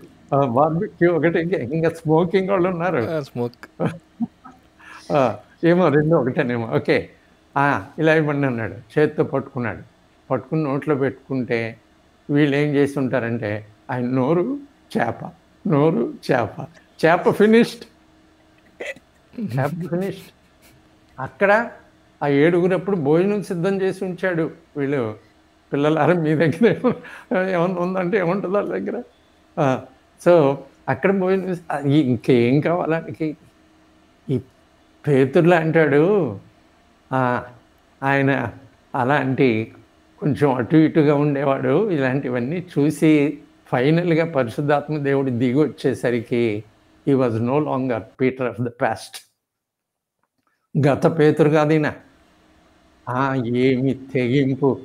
అందుకే ఈ రిజరెక్షన్ ప్రూఫ్కి ఏమంటారు అంటే ద డిసైపుల్స్ అది the transformation in the disciples ఆ తెగింపు ఏంటి ప్రాణానికి భయపడకపోవటం ఏంటి? ఈ రకరకాల థీరీస్ అప్పుడు ఉన్నాయి ఇప్పటికి ఆ టైంలోనే ఆ టైంలోనే పంపిన వాళ్ళు అదే పిలాతు దగ్గరికి వెళ్ళి ఇదిగో ఆ వంచకుడు సజీవుడుగా ఉన్నప్పుడు మూడో రోజు తిరిగి వీళ్ళ శిష్యులకు గుర్తు లేదు ఆ సంగతి. వాళ్ళకి గుర్తు తిరిగి లేస్తానన్నాడు. కాబట్టి ఆ, ఈ- ఈ శిష్యులు ఏం చేయొచ్చు అంటే ఆయన దేహాన్ని ఎత్తుకుపోయి వాళ్ళు కానీ తిరిగి లేచాడని చెప్తే మొదటి వంచన కంటే కడపటి వంచన సూపర్ సూపర్ అయిపోద్ది అంటారు వాళ్ళు. ఏ మీకేం కావాలి చెప్పండి గొడవ చేయకండి అన్నాడు. ఏం కావాలి మీకు? అన్నాడు పైలట్. ఇదిగో వీళ్ళంతా ఉన్నారు. తీసుకెళ్ళండి. తీసుకెళ్ళి వీళ్ళని కాపలా కాపలా పెట్టుకోండి వీళ్ళని. వీళ్ళు టెంపుల్ గార్డ్స్ కాదు వీళ్ళు. పైలట్ ఇచ్చిన వాళ్ళు థరోలీ ట్రైన్డ్ పీపుల్. అలాంటి థరోలీ ట్రైన్డ్ పీపుల్ వెళ్ళారు. సమాధి కాపలా. సమాధికి ఇదేంట్రా బాబు? సమాధి డ్యూటీ ఏంట్రా? మనకి అనుకుంటారు వాళ్ళు? వాళ్ళు కా వాళ్ళ పని ఏంటంటే ఎవరు వచ్చి ఎత్తుకుపోకూడదు. ఏ వాళ్ళు వచ్చి ఎత్తుకుపోవటం ఏంటి? ఆ పీటర్ సంగతి మనకు తెలీదా? వస్తాడా? రమ్మను. ఇంకా ఈ జాన్ సా ఏంటి ఆడు కుర్రాడాడు మనం చేసేది ఏంటి? ఎత్తుకెళ్తారా? చూద్దాం సంగతి అని అనుకుంటున్నా ఉన్నారు. కష్టం మీద నిద్ర కాచుకుని అలా అలా ఉండుంటారు. తెల్లవారుతూ. You can imagine they saw only rolling of the stone బొక్క బోర్లా పడిపోయి ఉంటారు. నోట్లోకి మట్టి వెళ్ళిపోయి ఉంటుంది. ఆ మట్టి తుడుచుకుని ఉంటారు. లేచి గుండె దడ భయం. పరుగులు. ముందు ఎక్కడికి వెళ్తారు? ఈ డ్యూటీలు ఏర్పాటు చేయించిన ఈ జ్యూస్ దగ్గరికి వెళ్ళారు. బాబు మాకు తెచ్చి అయిపోయింది మా పని. ఇంకేంటి ఇంకా? ఈ ఇంత ఫెయిల్ అయ్యామంటే ఇంకా అంత క్రూరుడు పైలట్ మమ్మల్ని బతకనేస్తాడు అవుట్ అయిపోయింది అంటే మీరేం భయపడకండి. మీకు డబ్బులు ఉంచండి మీ దగ్గర. మేము చూసుకుంటాం అధికారి చెవిని పడితే. మీరు చెప్పాల్సింది ఏంటంటే ఆయన మేము నిద్రపోతూ ఉండగా డ్యూటీ నిద్ర వీళ్ళు నిద్రపోవటానికి డ్యూటీ. రాళ్ళ మీద తలలు పెట్టుకుని మేము నిద్రపోతూ ఉండగా ఆయన శిష్యులు వచ్చి ఆయన దేహం ఎత్తుకుని పోయారని చెప్పండి. మేము చూసుకుంటాం. డబ్బులు కావాలి. ఆనాడు ఈనాడు. జర్నలిజం. ఆనాడు ఈనాడు. ఇలాంటి విషయాలు ఇంత అప్పుడే పుట్టినవి ఇవన్నీ. ఎంటీ టూమ్ నో అన్సా నిలబడి ఆ జీవాధిపతిని మీరు చంపారు. మృతుల్లో నుండి దేవుడు ఆయన్ని లేపాడు అంటే ఏంటి లేపేది? ఇదిగో మేము మీరు ఎలాంటి మాట్లాంటారనే బాడీ ఉంచాం చూడండి. They could have set that they remind silent answer లేదు. Empty tomb transformation in Peter in the disciples ప్రాణానికి తెగిస్తాడు ఎవరన్నా ఫర్ ఎ లై వాళ్ళు చీట్ చేసి మళ్ళీ ఫర్ ఎ లై ప్రాణానికి తెగిస్తారా? కాబట్టి ఈ రిజరెక్షన్ ప్రూఫ్ అనేదంటే థరోలీ ప్రభు ప్రూవ్ చేసుకున్నాడు. అది అంటే అన్ని ప్రత్యక్షతలు ఎందుకు అంటే టు ప్రూవ్ దట్ వాళ్ళు they had that thorough proof నలభై దినముల వరకు మళ్ళీ ఒకసారి చదువుతున్నా. ఓ థియోఫిలా. నువ్వు ఇలాంటివన్నీ గమనించుకో. ఫస్ట్ బుక్ తోటి నీకు అండర్స్టాండింగ్ వచ్చి ఉంటుంది. ఇప్పటికే నువ్వు ఉపదేశం పొందుతున్నావు. యేసు తాను ఏర్పరచుకున్న అపోస్తులకు పరిశుద్ధాత్మ ద్వారా ఆజ్ఞాపించిన తర్వాత ఆయన పరమునకు చేర్చుకునబడిన దినం వరకు ఆయన చేయుటకును బోధించుటకును ఆరంభించిన వాటిని అన్నిటినీ గూర్చిన మొదటి గ్రంథమును రచించుతుంది ఆయన శ్రమ పడిన తర్వాత నలువది దినముల వరకు వారికి అగ్గుపడుచు దేవుని రాజ్య విషయములను గూర్చి బోధించుచు అనేక ప్రమాణములను చూపి వారికి తను తాను సజీవునిగా కనుపరుచుకునేను. ఆయన వారిని కలుసుకుని ఇలాగో ఆజ్ఞాపించాను. మీరు ఎరుషలేము నుండి వెళ్ళాక నా వలన వినిన తండ్రి యొక్క వాగ్దానం కొరకు కనిపెట్టుడి. యోహాను నీళ్ళతో బాప్తీసం ఇచ్చిన కానీ కొద్ది దినములలోగా మీరు పరిశుద్ధాత్మలో బాప్తీసం పొందేదరని నేను. కాబట్టి వన్ ఆయన ఏర్పరచుకున్న వాళ్ళు వీళ్ళు. టూ ఆయన తను తాను ప్రత్యక్షపరచుకుంటే ఐ విట్నెసెస్గా చూసిన వాళ్ళు వీళ్ళు. త్రీ ఆయన కమిషన్ పొంది సువార్త ప్రకటించడానికి సిద్ధపడే సమయంలో ఆయన ప్రామిస్ చేసిన హోలీ స్పిరిట్ కోసం కనిపెట్టుకుని ఉండాల్సిన వాళ్ళు వీళ్ళు. కాబట్టి యోహాను నేలతో మీకు బాప్తిసం ఇచ్చాడు. కానీ కొద్ది దినంలోగా మీరు పరిశుద్ధాత్మలో లేదా పరిశుద్ధాత్మతో బాప్తిసం పొందిదరండి. ఇది మనకి మూడవ అధ్యాయము లోకాసు వార్తలో ఈ పదహారో వచనంలో ఉంటుంది. లోకాసు వార్తలో. ఏంటి? యోహానే అంటాడు. అక్కడేమో ఇవి ప్రభు మాటలు. అక్కడ యోహాను పలికిన మాటలు రికార్డ్ చేశాడు. బాప్తిజం ఇచ్చే యోహాన్. ఇదిగో వాళ్ళకి క్రీస్తేమో అని కన్ఫ్యూజన్ వచ్చిందండి. వీళ్ళకి ఇంతే. అటు ఇటు చేయటం వీళ్ళ పని. ట్రూత్ నమ్ముకున్న వాళ్ళకి అటు ఇటు చేయటానికి ఆలోచనలు వస్తూ ఉంటాయి కన్ఫ్యూజన్స్ ఉంటాయి ఉంటాయి. అన్ని డౌట్సే రాబోయేవాడు నువ్వేనా? ఆ కాదు. నువ్వు క్రీస్తువా?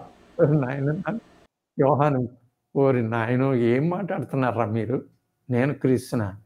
ఆయన చెప్పులు వారు విప్పటానికి కూడా నేను యోగ్యుని కాను. తెలుసుకోండి నా వెనక వచ్చేవాడు నాకంటే గొప్పవాడు. ఇదిగో నేను మీకు నేలలో కదా బాప్తీసిస్తున్నాను కనబట్టలా? ఆయన వస్తాడు వచ్చాడు అంటే మీకు పరిశుద్ధాత్మలో పరిశుద్ధాత్మతో బాప్తిస్తాం ఆయన నోటి నుండి వెలువడిన మాటలు. ప్రభు ఇక్కడ చెప్తున్నాడు ఇదిగో యోహాన్ మీకు నేలతో బాప్తీసం ఇచ్చాడు కానీ కొద్ది దినములోగా మీరు పరిశుద్ధాత్మలో బాప్తిస్మము పొందేదర నేను baptism in the spirit so Prabhu promise చేశాడు. మనకి అప్పర్ రూమ్లోనే యోహాను సువార్తలో రాసి ఉంటాయి ఈ సంగతులు. నేను వెళ్ళిపోవటం మీకు మంచిది. లేకపోతే పరిశుద్ధాత్మ మీకు అనుగ్రహింపబడ్డు. ఆయన వచ్చినప్పుడు ఆయన మీతో ఉంటాడు మీలో ఉంటాడు. ఆయన మిమ్మను సర్వ సత్యంలోనికి నడిపిస్తాడు. ఆయన తనంతట తాను ఏం బోధించడు. ఇదిగో తనంతట తాను బోధించే బోధలు వచ్చేస్తున్నాయి. ఎక్కడి నుండి తెచ్చారో? ప్రభు అంటున్నాడు తనంతట తాను ఏం బోధించడు. ఆయన నా వాటిలోనివి తీసుకుని బోధిస్తాడు కనుక నన్ను మహిమ పరుస్తాడు అది సర్వసత్యం. పత్రికలో ఆ సర్వసత్యం ఏంటో శిష్యులే మనకి బయలుపరిచేస్తారు. So for today one to five one to five ప్రభు ఏర్పరచుకోవటం ఆయన ప్రత్యక్షత వాళ్ళకి ఇవ్వడం వాళ్ళని కమిషన్ చేయటం లాస్ట్గా వాళ్ళని ఎక్విప్ చేయటానికి ఇవ్వబోయే ఆ ప్రామిస్డ్ స్పిరిట్ గురించి మాట్లాడటం. All set. But they were they were to wait for ten more days. Forty days. ఆయన అసెన్షన్ ఆయన ఆరోహణ అవటం అనేది మనం చూడబోతున్నాం. థ్యాంక్ యూ ప్రైజ్లో Well, what a grand opening uh, to a very grand book, Uncle. Thank you so much. Uh, Williams garu. As usual, uh, Yeah. innings, in, innings, innings opening మీరే అంటే నాకు చాలా థ్రిల్లింగ్ అనిపించింది ఏంటంటే Romans Bible study మీతో పాటు చేశాం కదా Mm. ఇప్పుడు యాక్స్ చేస్తా ఉన్నాం అంటే మీరు రోమన్స్ చెప్పేటువంటి విధానం యాక్స్ చెప్పేటువంటి విధానంలో there is a complete different approach Exactly. That's very wonderful ఎందుకంటే రోమన్స్ ఈజ్ బేసిక్లీ టీచింగ్ కాబట్టి the way you took the illustrations the way you presented that's different this is narration basically జరిగినటువంటి విషయాల్ని narrate చేసుకుంటూ వచ్చాడు Luke so the way you presented it's excellent పర్టికులర్గా the example you have taken ఎవరికి జరిగింది ఎక్కడ జరిగింది ఎప్పుడు జరిగింది ఏ సందర్భంలో జరిగిందని you gave an example about the angel coming and talking to appearing to Mary అంటే ఆ, అంటే వినే వాళ్ళందరికీ కూడా హిస్టరీకి టీచింగ్కి నెరేషన్కి టీచింగ్కి ఉన్నటువంటి వ్యత్యాసం చాలా క్లియర్గా యూ హ్యావ్ ప్రజెంటెడ్ టీచింగ్లో మనం ఏం బోధించారు అనేది చూస్తే నెరేషన్లో ఈ డీటెయిల్స్ అన్నీ వస్తాయి. వేర్ వెన్ హౌ వాట్ ఇవన్నీ వస్తూ ఉంటాయి. సో దట్స్ ఎక్సలెంట్ చాలా బాగా అనిపించింది. The way you approached that's good way thank you Edward అంటే మంచి కంపారిజన్ తెచ్చావు నువ్వు. That's. Really great true true this is a narrative yes ya we're waiting ప్రశ్నలు వస్తాయని అనుకుంటా ఉన్నాం. So feel free to put in your questions in the chat చాట్లో మీరు మీ ప్రశ్నలు పెట్టొచ్చు మీ కామెంట్స్ పెట్టొచ్చు. Uh, ఈరోజు good morning good evening comments మేము ఎక్కువ ఎంటర్టైన్ చేయలేదు కాబట్టి feel free to write your comments uncle మీరు చెప్పినటువంటి ఆ విషయం opening statements were really really striking ఎపిఫనీని మీరు తీసుకురావడం and importance of history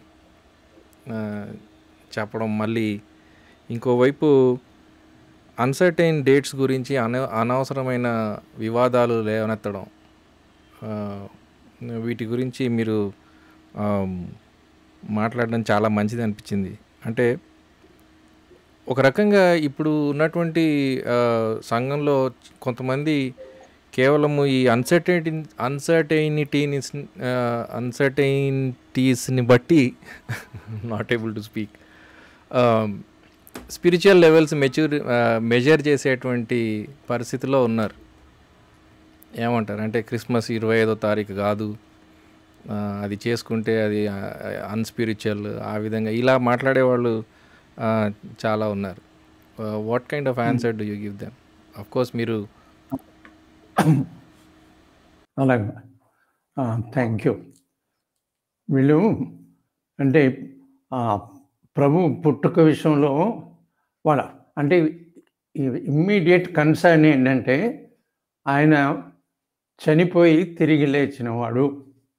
Jesus Jesus is the Christ అది వాళ్ళ వాళ్ళు అంటే for many many many years ఇంకదే ఏంటంటే మెస్సియా ఈయనే అని చెప్పడానికి వాళ్ళు ఉద్దేశించారు కాబట్టి వాళ్ళ ఉద్దేశాన్ని అనుసరించి బహుశా డికేట్స్ వెళ్ళిపోయి ఉండొచ్చు.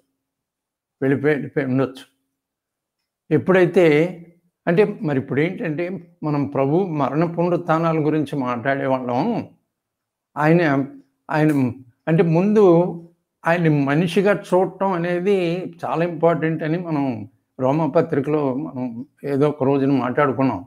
ప్రభు సింపుల్గా పాల్ని కౌంటర్ చేసినప్పుడు ప్రభు ఏమనొచ్చు? ఇదిగో నీ దేవుణ్ణి నేను ఎవరు ప్రభు అంటే అలాగే అడ్రస్ చేశాడు. అదే మాటలో తిరిగి ఆన్సర్ చేయొచ్చు. నీ దేవుణ్ణి నేను అనొచ్చు. ఏమన్నాడు? నువ్వు హింసిస్తూ ఉన్న యేసుని. Begin with man then you will know who I am ఆ very moment he in you అందుకే ఒక్క నిమిషం కూడా ఇంకా తిరగల. వెరీ మూమెంట్ ఏ ఏసుని దూరం పెడదామని అనుకున్నాడో ఏ ఏసుని ఫాలో అవ్వాలని అనుకునే వాళ్ళ సంగతి చూద్దాం అనుకున్నాడో. ఆ యేసు ఈరోజు దేవుడు అంతే. కాబట్టి ఎప్పుడు కూడా బిగినింగ్ నుంచి మనిషి హ్యూమ హ్యుమానిటీ నుంచి రా వస్తే అది జ్ఞానం అది. ఆ రెవల్యూషన్ ఈ లెవెల్లో ఈ ఈ పద్ధతిలో అర్థం చేసుకోవాలి. రెవల్యూషన్ రెవల్యూషనే పైనుంచి ఆయన బయలుపరచబడింది మనిషి నుంచి తీసుకోవాలి? అలా తీసుకోవాలి. మరి ఆయన మరణ పునరుత్థానాలు మాట్లాడుతూ ఆయన పుట్టుక గురించి ఏం పట్టించుకోకపోతే ఏమని ఉద్దేశం ఉంది? ఆయన్ని మ్యాన్గా మీరు ఎలా ప్రజెంట్ చేయగలరు? దేవుడు మనిషి అయ్యాడని ఎలా చెప్పగలరు మీరు? ఎలాగ ఆయన భూమి మీదకి వచ్చాడు ఏం పట్టించుకోకపోతే? కాబట్టి జీసస్ వాజ్ బోర్న్. ఇందులో ఏం తిరుగులేదు. కాబట్టి డేట్ ఏమొచ్చింది ఇబ్బంది? Anyway he was born. Date ఏంటి సమస్య. అలా గడుస్తూ గడుస్తూ వస్తూ ఉండగా హెలీనా గారికి ప్రభు మీద ప్రేమ వచ్చింది. కొడుక్కి మరి ఎలా చెప్పుకుందో. ఆ కొడుక్కి కొంచెంగా ఆలోచన వచ్చింది. వచ్చి తను ఎప్పుడైతే దేవుడి గురించి ప్రభువు గురించి ఎక్కువ ఆలోచిస్తున్నాడో తనకి ఏదో ఇంట్యూషను మరి ఏదో దర్శనమో ఏదో కలిగింది. యుద్ధానికి వెళ్తున్నప్పుడు ఆ క్రాస్ సింబల్తో నువ్వు you go and you will fin win with this symbol go అని తెలిసిందంట తనకి ఇంకా కన్ఫర్మ్డ్. సో తను ఏంటంటే ఈ మామూలు లెక్కల్లో బిగిన్ చేసిన వాడు ఇప్పుడు మనం కూడా క్రిస్మస్ అంటే చిన్నప్పుడు ఏంటి ఏం తెలుసు మనకి? సందడి సందడి. మరి ఎడ్వర్డ్ ఏం చేస్తాడు సందడి ఏలూరులో? నువ్వేం చేస్తావు సందడి హైదరాబాద్లో? నేను నర్సాపురంలో సందడి. ఏం తెలుసు నాకు? ఏమీ తెలియదు. ఏమీ తెలియదు అలాంటి ఏమీ తెలియని నేను పండగని హ్యాపీగా జరుపుకుంటూ ఉండగా అలాగే ఉండిపోయినా ఉండనిచ్చాడా దేవుడు?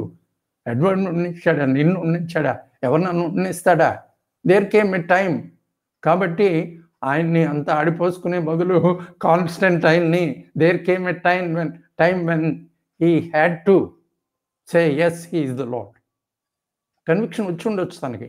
ఎప్పుడైతే వచ్చిందో ఈ సన్ గాడ్ని ట్వంటీ ఫిఫ్త్ ఏమంటాం? డిసెంబర్ వర్షిప్ చేస్తున్నాం మనం. నీతి సూర్యుడైన ఈయన. కదా వర్షిప్ చేయాల్సింది మనం. Will turn away and the true sun is the sun of righteousness Jesus Christ so December twenty fifth Christmas Christ is bond ఏంటి మరి? హ్యాపీ అదేదో ప్యాగన్ ఫెస్టివల్ అంట. అయితే అయితే ఒక పర్సన్ యొక్క కన్విక్షన్ అది. సో మనకి డేట్లు లేవు. కాబట్టి డేట్ వచ్చింది. పుట్టాడు ఎనీవే కాబట్టి ఆయన పుట్టింది ట్వంటీ ఫిఫ్త్ అయితే వెనక్కి వెళ్ళి తొమ్మిది నెలలు మైనస్ చేసి annunciation the day when the angel approach Mary behold అనగానే బిడ్డ పడటమే కడుపులో. ఎప్పుడైతే ఇదిగో ప్రభు దాసురాలని అన్నదో బిడ్డ కడుపులో పట్టమే ఇంకంతే. ఆ ఎలిజబెత్ దగ్గరికి వెళ్ళి అంత ఆ ప్రొఫెసీగా లేదా విజ్ఞాపనగా హేనా చెప్పింది. సమూహేలు మొదటి గ్రంథం రెండో అధ్యాయంలో చెప్పిన హేన విజ్ఞాపన జరిగిపోయిందంటది. ఎందుకు? ప్రభు పుడుతూనే అయిపోయింది అంతే. ఎత్తేసింది ఎవరి గురించి? ఇదిగో వీళ్ళు వీళ్ళ గర్విష్ఠులు. సో గర్విష్ఠులు వర్సెస్ మనం. ఇదిగో వీళ్ళు ఏమంటాం? అధికారులు వీళ్ళు అధికారులు వర్సెస్ మనం. వీళ్ళు రిచ్ వీళ్ళు. రిచ్ వర్సెస్ మనం. కాబట్టి రెండే ఇప్పుడు. నమ్ముకున్నాం నమ్ముకున్నాం కాబట్టి మనం గర్విష్ఠులం కాకుండా సింపుల్ పీపుల్గా ఉండటానికి ఇష్టపడిపోయిన వాళ్ళం. సింహాసనాలు కోరుకోకుండా మామూలు మనుషుల్లాగా ఉండటానికి సింహాసనాల మీద నుండి పడదేసేసాడు మనల్ని ఎక్కించేశాడు. రాజ్యం చూడబోతున్నాం. రాజ్యం సంగతులు. కాబట్టి జాన్ నేను ఏమాత్రం ఇలాంటి ఆ డేట్ గురించి అలా మాట్లాడితే నేను హ్యాపీగా ఉండలేను. దినములు లెక్కించుటకు మాకు నేర్పమంటే జనవరి ఫస్ట్ అవును. క్యాలెండర్ ఇయర్ బిగినింగ్ జానీ అంటే నాకేమనిపిస్తుందంటే హిస్టరీ థియాలజీ రెండు పక్క పక్కన పెట్టుకుంటే కనుక there are certain things regarding which we need to know the timings దాని గురించి బైబిల్ చాలా క్లారిటీ ఉంది. ఫర్ ఎగ్జాంపుల్ లూక్ యేసు ప్రభు వారు తిరిగి లేచిన తర్వాత ఫార్టీ డేస్ అని అన్నప్పుడు there is some importance in that అందుకని ఆ ఫార్టీ డేస్ అనేది మెన్షన్ చేయడం అనేది జరిగింది. ఇందాక అన్న చెప్తున్నప్పుడు ఆరో నెలలో మేరీని ఏంజలు రీచ్ అవటం అనేది జరిగింది. See whenever there is an importance of time that was clearly mention ఎక్కడైతే మనకి టైం ఇంపార్టెన్స్ లేదో it was just avoided. So యేసుక్రీస్తు ప్రభు వారు అన్న ఇందాక చెప్పినట్లు ఏ డేట్ను పుట్టాడు అనేది ఇంపార్టెంట్ కాదు. పుట్టాడా లేదా అనేది ఇంపార్టెంట్. సో సో అందుకనే చాలా క్లియర్గా మనకి ఎక్కడైతే టైమింగు తర్వాత పీరియడ్ ఎక్కడైతే ఇంపార్టెంటో బైబిల్ వాజ్ నాట్ సైలెంట్. ఎక్కడైతే అది అంత అన్ఇంపార్టెంటో it was just gave it to us the option. Of course అంటే అదే రెండు ఎక్స్ట్రీమ్స్కి వెళ్ళిపోయి క్రైస్తవులు తగాద పడతా ఉన్నట్టుగా చూస్తూ ఉంటాం కొంతమంది ఏమో ఈ అన్సర్టైనిటీ అన్సర్టైనిటీని తీసుకొని దాన్ని ఏదో రుజువు చేయాలని ప్రయత్నం చేయడం. ఇంకొక వైపు ఏమో అన్సర్టైన్గా ఉన్న వాటిని అసలు పట్టించుకోకూడదు అనేటువంటి ఇంకొక వాదన. ఈ రెండు వాదనల మధ్య క్రైస్తవ విశ్వాసాన్ని చాలా గలిబిలిగా చేస్తూ ఉన్నట్టుగా చూస్తూ ఉన్నాం. ఇప్పుడు ఇది బయటి వాళ్ళకు ఒక ఆయుధంగా మారింది. అందుకే ఒక ఆయన ఛాలెంజ్ చేస్తూ ఉంటాడు. ఈ డిసెంబర్ ఇరవై ఐదున యేసుక్రీస్తు పుట్టాడని మీ బైబిల్లో ఎక్కడ రాసింది చెప్పండి? మీకు మేము లక్షలు ఇస్తాం కోట్లు ఇస్తాం అని. వాడికి తెలుసా అది అక్కడ లేదని. తెలిసిన వాటి గురించి మాట్లాడరు. అది అది unfortunately even even believers are also doing the same thing అందుకోసమే ఈ ప్రశ్నలు ఏమైనా and also the way you presented మేరీని ఆ ఏంజల్ విజిట్ చేయడం అక్కడ ఉన్నటువంటి ఆ టైమింగ్ ఆ సిచ్యువేషన్ ఆ కాంటెక్స్ట్ ఆ historical March twenty fifth annunciation day అంట. యా తొమ్మిది నెలలు. Yes so how important it is అంటే బై బిబ్లికల్ అకౌంట్స్ అనేటివి ఎంత ఆ, జాగ్రత్తగా రాయబడ్డాయి అనేది మనకు పరిశుద్ధాత్ముడు ఎంతగా ప్రేరేపణ అనేది మనకు క్లియర్గా కనబడతా ఉంది. ఇక్కడ ఒక ప్రశ్న ఉంది uncle. He was totally spiritual so Edward and John okay. So how could you feel a spirit how could you feel a spirit is the question Edward garu మీరు స్టార్ట్ చేయండి అంకుల్ ముగిస్తారు. జాన్ మోడరేటర్ గారు ముగిస్తారు. అంటే యేసుక్రీస్తు ప్రభు వారు చనిపోయి తిరిగి లేచిన తర్వాత ఫార్టీ డేస్లో శిష్యులకి కనబడినప్పుడు he appeared in the resurrected body. Yeah. పునరుద్ధాన శరీరంతో ఆయన అగుపడ్డాడు. పునరుద్ధాన శరీరం ఎలా ఉంటుంది అనేది పునరుద్ధానం కాని వ్యక్తి చెప్పలేడు. ఇంకా పునరుద్ధానం అవ్వలేదు. కాబట్టి నాకు తెలియదు so that is the first statement want to make అయితే మనకున్నటువంటి ఇన్ఫర్మేషన్ బట్టి మనం కొన్ని అంచనాలు వేయచ్చు. ఏంటి ఆ అంచనాలు అంటే ఉదాహరణకి అన్న మాట్లాడుతూ ఇందాక చాలా క్లియర్గా డోర్ తలుపు లేస్తున్నప్పుడు ఏసై లోనికి వచ్చాడు అని అన్నాడు. సో ఏ బాడీ అయితే ఏసై ఆ టైంలో కలుకున్నాడో ఆ బాడీ గోడలోంచి లోనకి రాగలిగేటువంటి బాడీ. తలుపేసుకున్నప్పుడు కూడా. So that is one character రెండోది ఏంటంటే తోమ నేను నీ గాయాలు చూడాలి అన్నప్పుడు ఏసై చూపించాడు. తోమ టచ్ చేయలేదు that's a different story but Jesus Christ was willing to show him ఒకవేళ తోమ టచ్ చేసినట్లయితే ఫీల్ అయి ఉండేవాడేమో. ఐ డోంట్ నో అప్పుడు పక్కా ఇన్ఫర్మేషన్ ఉండేది. ఎడ్వర్డ్ ఒక్క విషయం అమ్మా. చూపెను అని ఉంటది. అవునా? చేతులను వారికి చూపెను అని ఉంటది. ఏసై చూపించాడు అంటే తోమ టచ్ చేశాడని లేదు మనకు కానీ ఏసై చూపించాడు ఓకే. కాదు దాన్ని మనం వీళ్ళు టచ్ అంటే జాన్ ఊరుకుంటాడా? యోహాను మెల్లిగా జరుగుంటాడు దగ్గరికి జరిగి ముందే యాపిల్ అది పట్టుకుని ఉంటాడు రోప్స్. అమ్మ ఉంటాడు. మెల్లి కాలు పట్టుకుని ఉంటాడు. ఆ, అందుకే So, తనంత గట్టిగా therefore, రాస్తాడు. Resurrected body will definitely have some similarities with the previous physical body అనే విషయం అర్థమవుతుంది. ఇప్పుడు ఒకవేళ మనం రిజరెక్ట్ అయ్యి వెళ్తే కనుక ఇప్పుడున్నటువంటి మన రూపానికి అప్పుడున్నటువంటి రూపానికి కొంచెం సిమిలారిటీ ఉంటుంది. There are similarities there are differences అంత మట్టుకే మనం చెప్పగలం but we cannot go beyond that అని అనిపిస్తుంది.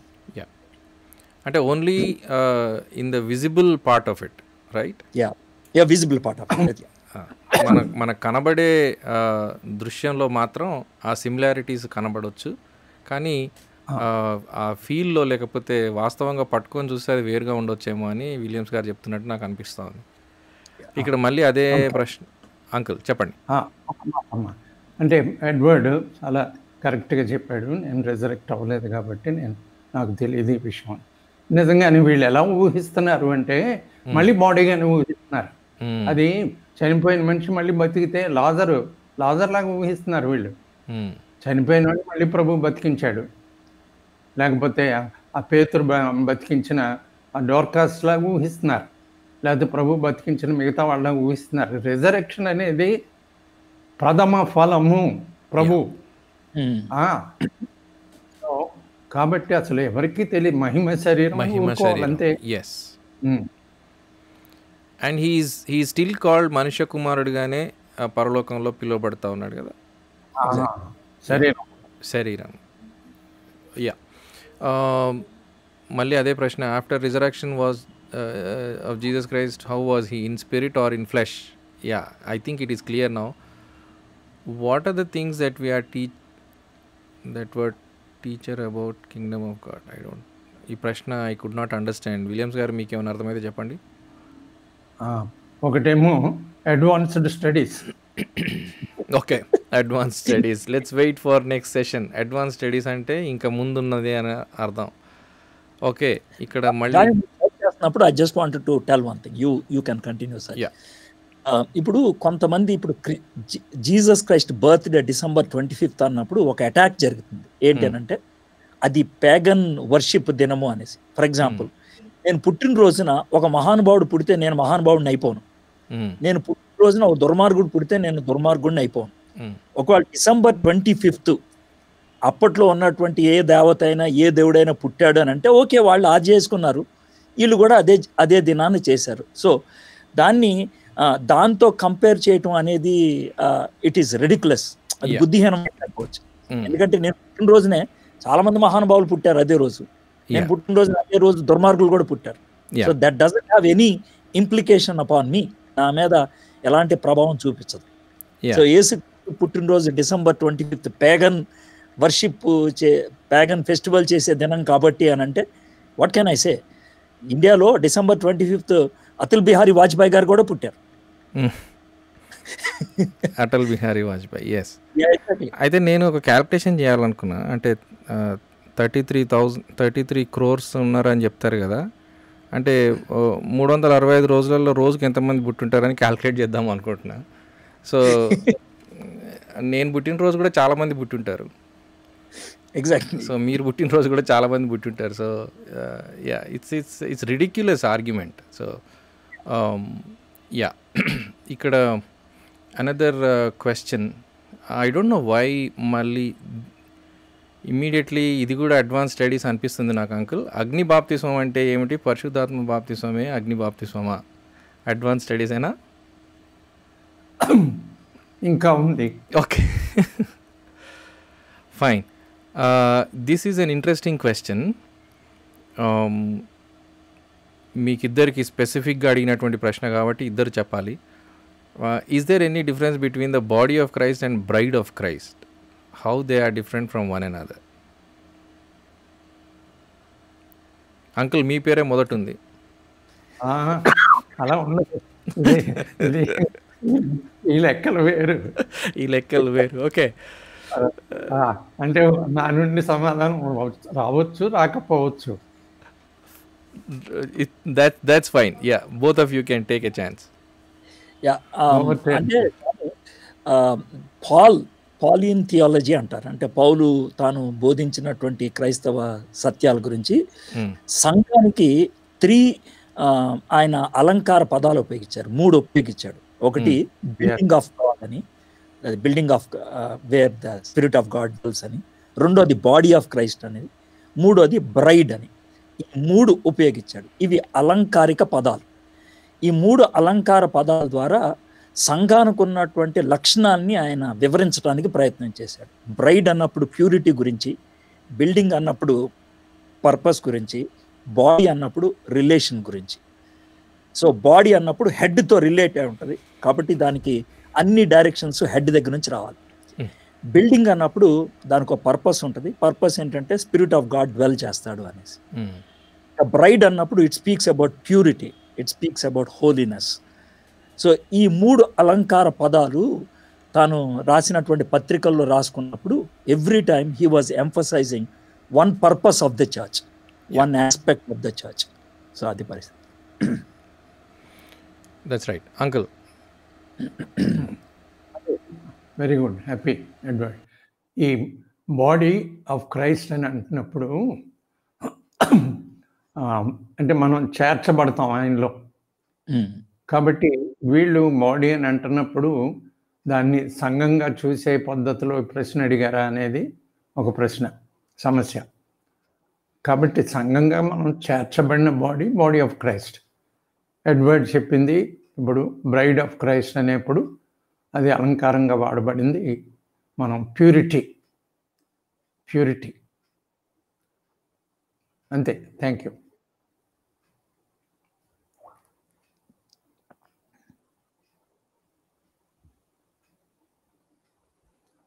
Audio.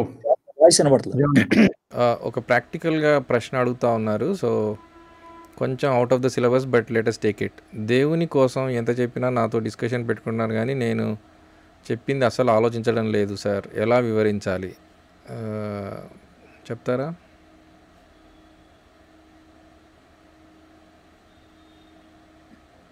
Why there is silence in heavens మళ్ళీ మళ్ళీ ఒకసారి చూపించు ఎడ్వర్డ్ దాని సంగతి.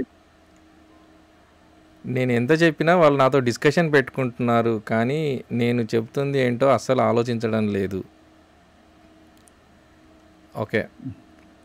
సో ఎలా చెప్పాలి అనేది ప్రశ్న. So Williams garu?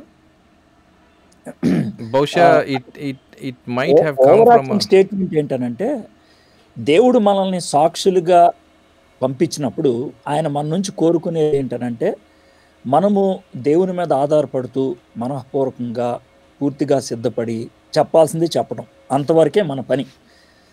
అవతల వ్యక్తిని ఒప్పింపచేసేటువంటి పని పరిశుద్ధాత్ముడు చేస్తాడు. అవతల వ్యక్తి ఒప్పుకోకపోతే కనుక దానికి మనం బాధ్యులం కాదు. అంటే మనం ప్రయత్నాలు చేస్తాం. Till the last minute we will struggle we will try. మనం ప్రేయర్ చేస్తాం. వాళ్ళకి ఎలా చెప్తే అర్థమవుతుందో ఆలోచించుకుంటాం చెప్తాం. But we should not have the understanding నేనే ఒప్పించేస్తా ఎందుకనంటే ఈ మధ్యకాలంలో ఇది ఒక స్టేట్మెంట్ లాగా అయిపోయింది. నేను డిబేట్కి వస్తే కనుక స్టేజ్ మీద నేను ఒప్పిస్తా అని. మనుషుల్ని మనిషి ఒప్పించలేడు. అది పరిశుద్ధాత్ముడు చేయాల్సిన పని. మనం కేవలం we are only witnesses witness అన్నప్పుడు కోర్టు భాష ఉపయోగించాడు విట్నెస్ చెప్తాడు కానీ జడ్జిని ఒప్పింపజేసేది డిఫెన్స్ లాయర్. కాబట్టి ఇక్కడ డిఫెన్స్ లాయర్ పరిశుద్ధాత్ముడు. అక్కడ నెక్స్ట్ మనం బైబిల్ స్టడీలో దాన్ని చూడబోతున్నాం. కాబట్టి so this is important so మనం ఆ వ్యక్తి okay if you has concern let him pray and అయితే నేనేమని చెప్తానంటే తెలిసిన వ్యక్తికి సువార్త చెప్పడానికి మెయిన్ మెయిన్ వెహికల్ ఏంటనంటే జీవితం. More than words. జీవితం. తెలిసిన వ్యక్తికి తెలియని వ్యక్తికి ఒకసారి కలిసినప్పుడు ఏదో మాటలు చెప్తే కనుక వాళ్ళు వినటానికి అవకాశం ఉంటుంది. కానీ మనల్ని రోజు గమనించే వాళ్ళు మన మాటల కంటే ముందు మన జీవితాన్ని చూస్తారు. So I would suggest let his life present Christ to them yeah that is more important uncle మీరేమని చెప్తారా? డిస్కషన్ అంటే మన గురించి అంటున్నాడేమో అని కంగారు పడ్డా. అందుకు మీ ఇద్దరు ఫేస్ చేస్తే బాగుండని ఎస్కేప్ అవుదాం అనుకున్నా. ఓకే? అయితే డిస్కషన్ అనే word is a good word అలాగే అలాగే. ఏంటంటే ఒక్కోసారి సైలెంట్ అయిపోవటం మంచిది. సైలెంట్ అవటం రావట్లేదు.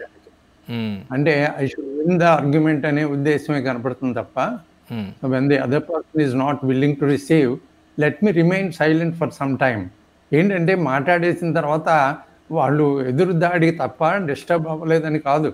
వాళ్ళు డిస్టర్బ్ అయిపోయారు. డిస్టర్బ్ అయిపోయారు. అయిపోయిన కారణంగా పోటీ భక్తి. యా అయిన కారణంగా. కాబట్టి ఇఫ్ యూ లీవ్ ఏంటి? వీడు సైలెంట్ అయిపోయాడు. వీడు అంటుంటే నన్ను అనుకుంటున్నాను నేను. నా గురించి అంటున్నా. సైలెంట్ అయిపోయాడు అని అనుకుంటా. యా అనుకుని వాళ్ళే మళ్ళీ ఎదురు మనల్ని ఏదో రకంగా పాత రోజుకి తీసుకెళ్ళాలని ట్రై చేసినప్పుడు అదో second phase definitely it has a step forward yeah thank you అయితే నా ఉద్దేశంలో డిస్కషన్ ఈజ్ గుడ్ అనుకుంటా నేను. ఆర్గ్యుమెంట్ కన్నా. సో ఈ ఈ తేడా మనం ఇతరులతో మాట్లాడుతున్నప్పుడు మనం డిస్కస్ చేస్తున్నామా లేక ఆర్గ్యూ చేస్తున్నామా అనేది గమనిస్తే బాగుంటుందని నా ఒపీనియన్ డిస్కషన్ చేసిన వాళ్ళు డెఫినెట్లీ దే ఆర్ థింకింగ్ కాబట్టే వాళ్ళు ప్రశ్నలు అడుగుతారు. మనకున్నటువంటి ఒక అపోహ ఏంటి అని అంటే విశ్వాసంతో నమ్మాలి కాబట్టి ప్రశ్నలు అడగకూడదు అని అనుకుంటాం. సో మనుషులు ప్రశ్నలు ఖచ్చితంగా అడుగుతారు. వాటికి మనము గౌరవప్రదంగా జవాబు చెప్పాలి అని దేవుని వాక్యంలో చాలా తేటగా ఉంది. కాబట్టి మనము ప్రేమపూర్వకంగా వారిని గౌరవించి జవాబులు చెప్పినప్పుడు వాళ్ళు మన ముందు ఒప్పుకోకపోయినా కానీ తర్వాత వాళ్ళు డెఫినెట్గా అంకుల్ చెప్పినట్టు ఆలోచిస్తారు అని నేను అనుకుంటున్నాను. మళ్ళీ వచ్చింది ఇక్కడ ప్రశ్న కయ్యను గిఫ్ట్ దేవుడు ఎందుకు అంగీకరించలేదు?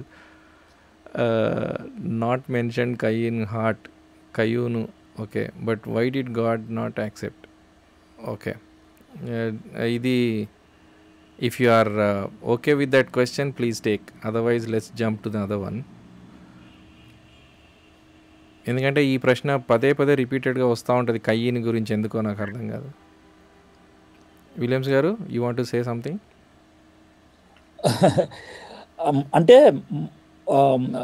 బ్రాడర్ లెవెల్లో ఆన్సర్ చేయాలంటే జానీ బిఫోర్ ఫాల్ అంటే పాపం చేయకముందు Adam and Eve they were having God as reference for everything అంటే ఈ పండు తినొచ్చా ఇటు వెళ్ళొచ్చా అటు వెళ్ళొచ్చా. సో దాన్ని people call it as the the period of innocence వాళ్ళు ప్రతి దాన్ని దేవుడికే రిఫర్ చేస్తా ఉన్నారు.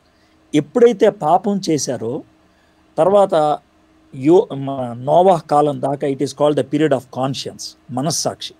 యా సో ఈ మనస్సాక్షి పరంగా దేవుణ్ణి సంతృప్తి పరిచినటువంటి మూడు ఎగ్జాంపుల్స్ మనకు ఉన్నాయి there may be many more people కానీ మనకు మూడు ఎగ్జాంపుల్స్ ఉన్నాయి. ఒకటి Abel through worship Enoch through walk and Noah through work వీళ్ళు ముగ్గురు కూడా దేవుణ్ణి సంతోషపెట్టారు. They were considered as righteous so వాళ్ళ కాన్షియన్స్ లెవెల్ ఈ ముగ్గురు కూడా they were right with God అందుకనే అంటే బయటికి బాగుండొచ్చు మనస్సాక్షి సరిగ్గా లేకపోవచ్చు మోటివ్ సరిగ్గా ఉండకపోవచ్చు. అది మనకు తెలియదు దేవుడికి తెలుస్తుంది. సో ఆ పీరియడ్లో జరిగింది కాబట్టి ఇది ఏబెల్ ఏదైతే బయట ఇచ్చాడో మనసులో కూడా అదే ఉంది. అందుకనే దేవుడు అంగీకరించాడు. కేయిన్ మేబీ తాను ఇచ్చింది మ్యాటర్ అయి ఉండొచ్చు కానీ హార్ట్లో సరైనది కాకపోయి ఉండొచ్చు. That's why God rejected so కాబట్టి దాని నుంచి మనం నేర్చుకోగలిగే పాఠం ఏంటనంటే what we give and how we good how we give should sync ఏమిస్తున్నాము? ఏ మనసుతో ఇస్తున్నాము? రెండు సింక్ అవ్వాలి. ఒకవేళ సింక్ అవ్వకపోతే కనుక it is not acceptable okay wonderful explanation thank you త్వరగా ముందుకెళ్దాం. ఆ, పే కేవలం పేతురు యోహాను కొంతమంది క్రీస్తు శిష్యులు రాసిన పుస్తకాలు మాత్రమే ఉన్నాయి. మిగిలిన శిష్యులు రాసిన పుస్తకాలు ఎందుకు లేవు?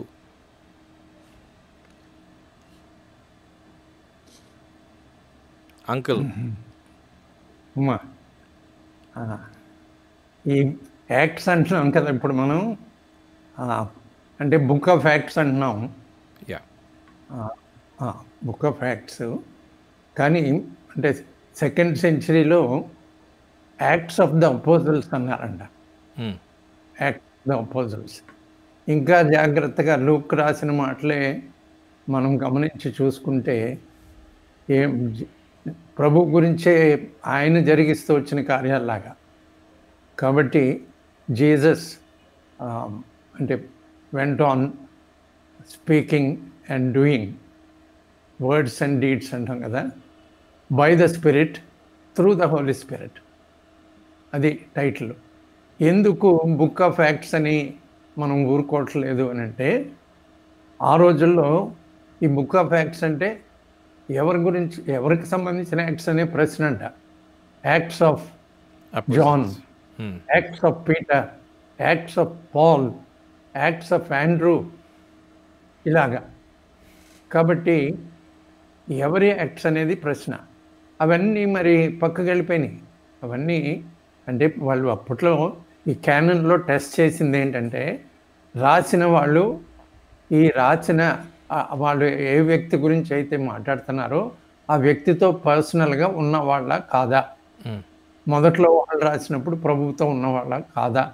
అది external evidence. So internal evidence ఏంటంటే వాళ్ళు రాసినవి అపోస్తల బోధగా అప్పటికే ప్రాచుర్యంలో ఉన్నవాడు. దాంతో సరిపడేదిగా ఉందా? ఆ డాక్టర్ని అది కరెక్ట్గా ఉందా లేదా? ఎప్పుడైతే రాసిన వ్యక్తి ఏ రకంగానూ ఐ విట్నెస్ కాదు ఐ విట్నెస్గా ఉన్న వాళ్ళ అసోసియేట్ కూడా కాదన్నప్పుడు పక్కన పెట్టేశారు. సో యాక్ట్స్ ఆఫ్ జాన్ పక్కన పెట్టేశారు. Acts of Peter Acts of Paul ఇవన్నీ పక్కన పెట్టేశారు. లూక్ రాసింది. ఎందుకు? అసోసియేట్ ఆఫ్ పాల్ తర్వాత ఇంటర్నల్ ఎవిడెన్స్ చాలా చక్కగా మిగతా గాస్పల్స్తో సరిపడింది. అప్పటికే రాయబడిన పాలిన్ థాట్తో సరిపడింది. కాబట్టి పరిశుద్ధాత్మ దేవుడు ప్రేరేపించాడా లేదా అనేది మరి నిజంగానే వాళ్ళు క్యానన్లో చేర్చేప్పుడు దేవుణ్ణి ఏమంటామంటే పరిశుద్ధాత్మ దేవుని చేత ప్రేరేపించి సామాన్య మనుషులతో రాయించి సూపరింటెండింగ్ రోల్ ఆయన తీసుకుని ఏవి చేర్చాలో చేర్చబడకూడదో దేవుడే ఆయన చైర్లో ఉండి జరిగించిన గ్రంథం ఇది. Hmm. అలా చెప్పాలి. యా సో ద ఓన్ ఒకటే కారణం ఏంటంటే మనకు uh, ఆ కొలమానం లేక ఆ క్యానన్ అనేది అప్పుడు సంఘ పెద్దలు లేక సంఘ పితరులు దేవుని చేత నడిపింపబడి పుస్తకాలను గుర్తించడం అనేది మనం చెప్పుకోవచ్చేమో అనుకుంటా ఉన్నా. విలియమ్స్ గారికి డైరెక్ట్ క్వశ్చన్ మీ మీ ఒక ప్రసంగాన్ని ఉటంకిస్తూ అడుగుతా ఉన్నారు. After reservation how about our soul mind thinking that thinking we can recognize others as williamson one said in a message in heaven in heaven I will put up my shirt colour act ఇది అంటే మీరు మీకేమన్నా గుర్తుందా మీ ప్రసంగం Williams garu? Yeah and probably he mixed up two things ఒకటి ఏంటంటే నేను షర్ట్ తగిలించడం అనేది ఎందుకు ఉపయోగిస్తానంటే నేను ఈ షర్ట్ వేసుకున్నాను కాబట్టి ఇది నా షర్ట్ నా. షర్ట్ తీసి ఇక్కడ తగిలిచ్చాను అనుకో అప్పుడు కూడా అది నా షర్టే but I'm not wearing it so నాలోంచి నా ప్రాణము తర్వాత నా ఆత్మ వెళ్ళిపోతే కనుక ఇది ఎడ్వర్డ్ శవం అంటారు. ఇది ఎడ్వర్డ్ యొక్క శరీరం అంటారు. సో దాన్ని నేను షర్ట్కి పోల్చాను. The second thing can we recognize others అని అంటే కనుక I said yes we can. Recognize there is no doubt about అయితే ఇంకొక చిన్న మాట ఎక్స్టెన్షన్ ఏంటంటే వీ క్యాన్ రికగ్నైజ్ కానీ but I will say one thing we don't have time to recognize ఎందుకంటే we are totally taken up in worshipping the triune God దేవుడిని ఆరాధిస్తూ ఉంటాం కాబట్టి పక్కన ఎవడున్నాడు అనేది మనం పట్టించుకోం. But if you want you can that's what we can yeah yeah అందుకే ఒక ఆయన అన్నారు అంటే whenever we talk about heaven చాలా కామన్గా వినేది ఏంటంటే హెవెన్ చాలా అందమైన స్థలం. అక్కడ బంగారు పువ్వులు ఉంటాయి బంగారు రోడ్లు ఉంటాయి అవి ఇవన్నీ వాటి గురించే మాట్లాడతాం కానీ the beauty of heaven is God himself అని అన్నాడు. So yeah I think Johnny ఇంకొక క్వశ్చన్ అడిగారు మధ్యలో. ఆ, అది అంటే సీరియస్గా కొంచెం తప్పు దోవకి వెళ్ళేటట్లు ఉంది అందుకనేసి. Okay okay. ప్లీజ్ నేను ఆవిడ అడుగుతున్నారు. కొంచెం పైకి వెళ్ళిపోయింది ఏంటనంటే ఆవిడ అడిగేది ఏంటనంటే ఇప్పుడు బ్రైడ్ ఆఫ్ క్రైస్ట్ అనేది చెప్పినప్పుడు టెన్ వర్జిన్స్ని ఎట్లా as it is here Narendra Babu. How do you view body and bride of Christ in light of ten virgins parable. ఇదేనా? అదే అదే. That's okay. సో మీరే చెప్పండి. యా ఇప్పుడు బ్రైడ్ ఆఫ్ క్రైస్ట్ అన్నప్పుడు పౌలు భక్తుడు టీచింగ్లో సంఘం గురించి చెప్తా ఉన్నాడు. టెన్ వర్జిన్స్ అన్నప్పుడు అది ఒక పారబుల్ అది ఒక కథ. ఒక యేసుప్రభు వారు ఒక కథ తీసుకొని దాంట్లోంచి ఒక సత్యాన్ని బోధించాలనుకుంటా ఉన్నాడు. చాలా ప్రాముఖ్యమైన విషయం ఏంటంటే పారబుల్ ఎనీ పారబుల్ ఒక సెట్టింగ్లో చెప్తారు ఒక సందర్భంలో. అందుట్లో ఒక స్టోరీ ఉంటుంది. ఆ స్టోరీలో కేవలం ఒక సత్యం మాత్రమే మనం నేర్చుకుంటాం. అవును. టెన్ వర్జిన్ స్టోరీలో ఒకే ఒక సత్యం ఏంటంటే బీ వాచ్ఫుల్ అదొకటే దాంట్లో నూనె ఏంటి ఒత్తేంటి అనేది ఆలోచిస్తే కనుక you will be going into probably అది పెళ్ళి సందర్భం ఇది పెళ్ళి కూతురు కాబట్టి రెండు కలపడానికి ప్రయత్నం చేశారేమో అనిపించింది నాకు so you should not. Mix up like. అది అంటే యేసుప్రభు రాకడ కొరకు సిద్ధపాటుని గురించి చెప్పినటువంటి ఉపమానం సో ఆ సిద్ధపాటుని గురించే ఫోకస్ చేస్తే మంచిది.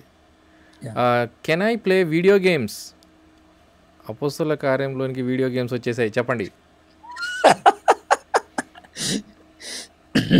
But good question very very practical question probably జవాబు చెప్పాలి. ఓకే విజువల్ వర్డ్ కన్నా మీరు చెప్పండి తర్వాత if there is anything left out I అంటే ఇప్పుడు ఇలాంటి వాటికి మనం జవాబు చెప్పేటప్పుడు ఇది చెయ్యొచ్చా అని అన్నప్పుడు నువ్వు చెయ్యాల్సింది చెయ్యకపోతే గనక ప్రతిదీ తప్పే అవుతుంది. ఇప్పుడు ఫర్ ఎగ్జాంపుల్ ఒకవేళ ఈయన కాలేజ్ స్టూడెంటో కాలేజ్కి వెళ్ళే స్కూల్కి వెళ్ళే వ్యక్తి అయితే కనుక నాట్ స్టడీయింగ్ ఇస్ సిన్. దేవుని వాక్యాన్ని దేవునికి సమయం ఇవ్వకపోవటం అనేది sin. If you are able to do all these things and still have time that's a different story కాబట్టి ఒక్క ఈ ఇష్యూగా నేను వీడియో గేమ్ ఆడొచ్చా? నేను క్రికెట్ ఆడొచ్చా? అంటే క్రికెట్ ఆడొచ్చు తప్పేం లేదు. కానీ not at the cost of your primary responsibility yeah నీకు అయితే ప్రాథమికమైనటువంటి పని చేయకుండా క్రికెట్ ఆడతానంటే తప్పు అవుతుంది యా అయితే I can add one more point ఏంటంటే better play cricket than video games ఎందుకనంటే వీడియో గేమ్స్ ఒకవేళ మీకు ఆ, అలవాటు ఉంటే అది అనవసరంగా శరీరంలో అనారోగ్యానికి దారితీస్తుంది. మెంటల్ టెన్షన్స్కి దారితీస్తుంది. ఇవన్నీ చాలా హెల్త్ ఇష్యూస్ ఉంటాయి.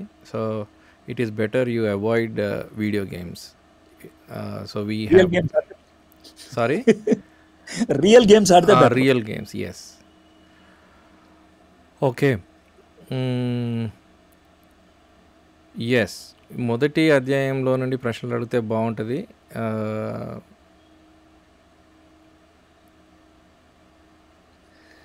అన్న ఐ హ్యావ్ ఎ క్వశ్చన్ అన్న. అంటే ఇప్పుడు మనం ఈరోజు స్టడీ చేసినటువంటి పార్ట్లో ఒక క్వశ్చన్ ఏంటంటే మూడో వచనం. ఆయన శ్రమపడిన తర్వాత నలవది దినముల వరకు వారికి కనబడుచు దేవుని రాజ్యముల గురించి బోధించుచు అని చెప్పాడు కదన్న do you think there is any particular reason for Luke avoiding the words death and resurrection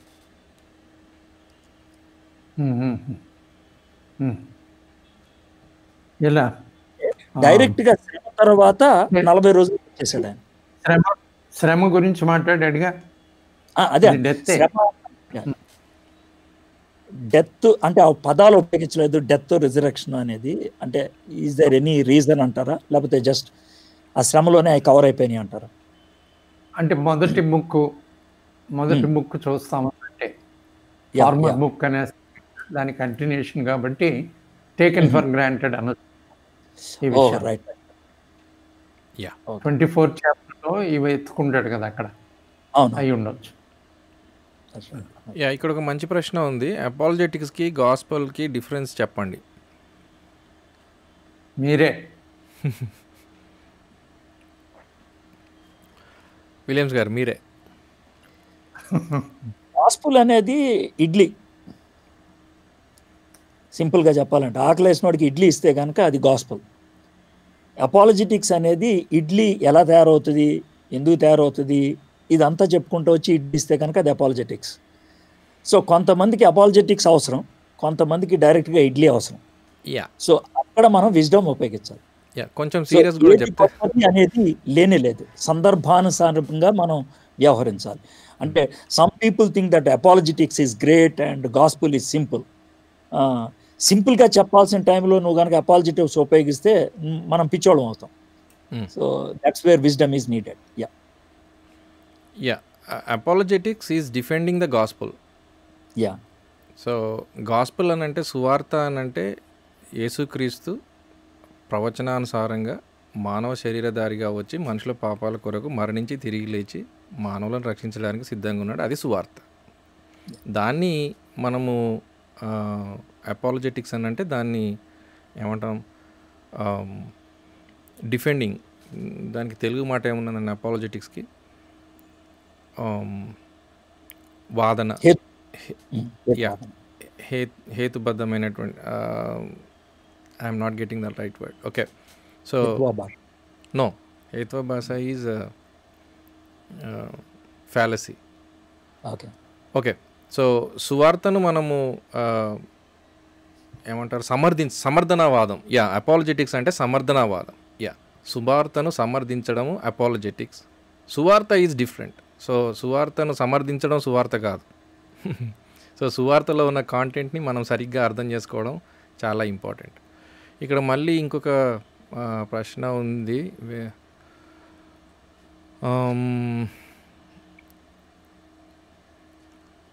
ఇది కొంచెం ఏమంటారు యాంగర్ మేనేజ్మెంట్కి సంబంధించింది. ఇఫ్ సమ్టైమ్స్ uh, నేను తప్పు చేయకపోయినా ఎవరైనా ఏమైనా కో అంటే నాకు కోపం వచ్చేస్తుంది అప్పటి వరకు పాపం చేయకుండా ఉన్న దానినే వెంటనే ఎవరైనా ఏమైనా అంటే కోపం వస్తుంది. ప్లీజ్ సొల్యూషన్ చెప్పండి. ఆల్సో దీని ఇవన్నీ చిట్కాలలాగా ఉన్నాయి ప్రశ్నలు. Can I do money interest business అంటే కొంచెం మనము సబ్జెక్టు సంబంధించి ప్రశ్నలు ఉంటే బాగుండేది. Money interest business no. Okay. Williams గారు ఇది చెప్తారా? నాకు కోపం బాగా వస్తుంది దాన్ని ఎట్లా కంట్రోల్ చేసుకోవాలో ఒక మాట చెప్పండి. పేతురు రాసిన మొదటి పత్రిక రెండో అధ్యాయం చదివితే మంచిగా జవాబు వస్తుంది అనిపిస్తుంది ఎందుకంటే నేను ఏ తప్పు చేయకపోయినా నన్ను ఎవరన్నా అంటే కనుక నాకు కోపం వచ్చింది అని అన్నాడు కదా.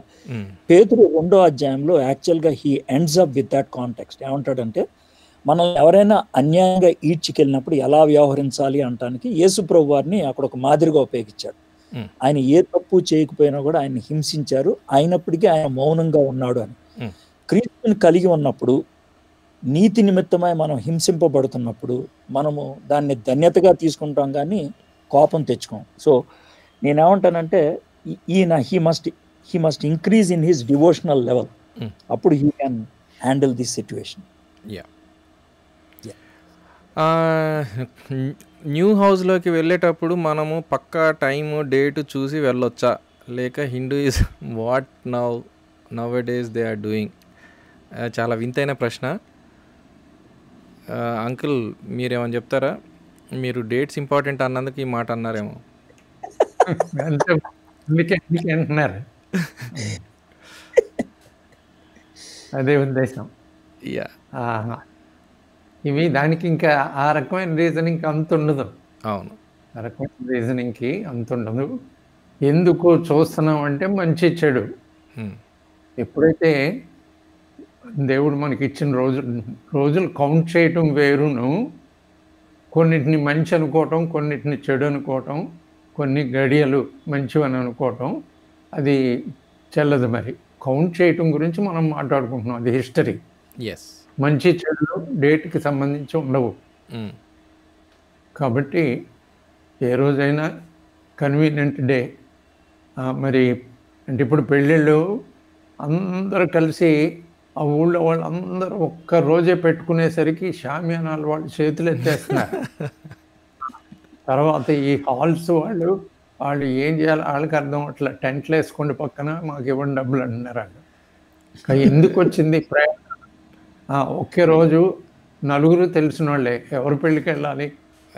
ఇలాంటివి ఈ పనులు చేస్తున్నారనమాట ఏంటి అంటే మంచి చెడు.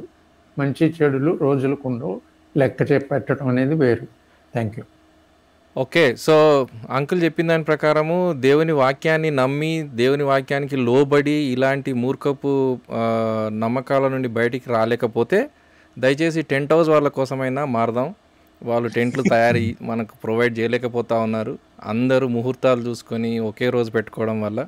కాబట్టి వాళ్ళ కన్వీనియన్స్ కొరకైనా మారదాం. That is a joke but very seriously you know ఇది ఇది this is not according to God's word దేవుని వాక్యానుసారమైంది కాదు. ఓకే ఇక్కడ చక్కటి ఆలోచన మళ్ళీ automatically apologetics come in as we explain gospel is this wrong Williams గారు. అంటే ఇప్పుడు నువ్వు ఇందాక చెప్పింది కరెక్ట్గా అర్థమైతే కనుక ఈ పదం రాదు. అపాలజిటిక్స్ అన్నప్పుడు డిఫెండ్ అని అన్నారు. ఇక్కడేమో ఎక్స్ప్లెయిన్ అన్నారు. Hmm. Explaining gospel is not apologetics it is telling gospel సువార్తని చెప్పడమే. అపాలజిటిక్స్ అనేది ఎప్పుడు వస్తుంది అంటే when they question when they raise issues అప్పుడు అపాలజిటిక్స్ వస్తుంది. When they are not raising you don't come to apologetics స్ట్రైట్గా సువార్త చెప్పుకుంటే వెళ్ళిపోతాం. Um, yeah, this is interesting question. After his resurrection, why did Jesus tell Mary not to touch him, but later told uh, Thomas to difficult ఇది. ఒకసారి చూడాలి. Uh, Williams garu, any any idea? యాక్చువల్గా అక్కడ ఉన్నటువంటి terminology చూస్తే కనుక తెలుగులో కానీ ఇంగ్లీష్లో కానీ వచ్చినప్పుడు టచ్ అనేటువంటి సింపుల్ పదం ఉపయోగించారు. కానీ థియోలాజియన్స్ చెప్తారు ఏంటనంటే మరియమ్మని don't hold on to me నన్ను పట్టుకొని ఉండిపోవద్దు you have to go and tell. అనే భావం అక్కడ ఉన్నది అంతేగాని దెర్ ఇస్ నో డిఫరెన్స్ అనేది చెప్తా ఉంటారు. That's what theologians give the answer don't hold on నన్ను పట్టుకొని ఉండిపోవద్దు. యా ఓకే ఇక్కడ నుండి వచ్చే ప్రశ్నలు మన మొదటి చాప్టర్కి సంబంధించినవి అయితే మాత్రమే తీసుకుందాం.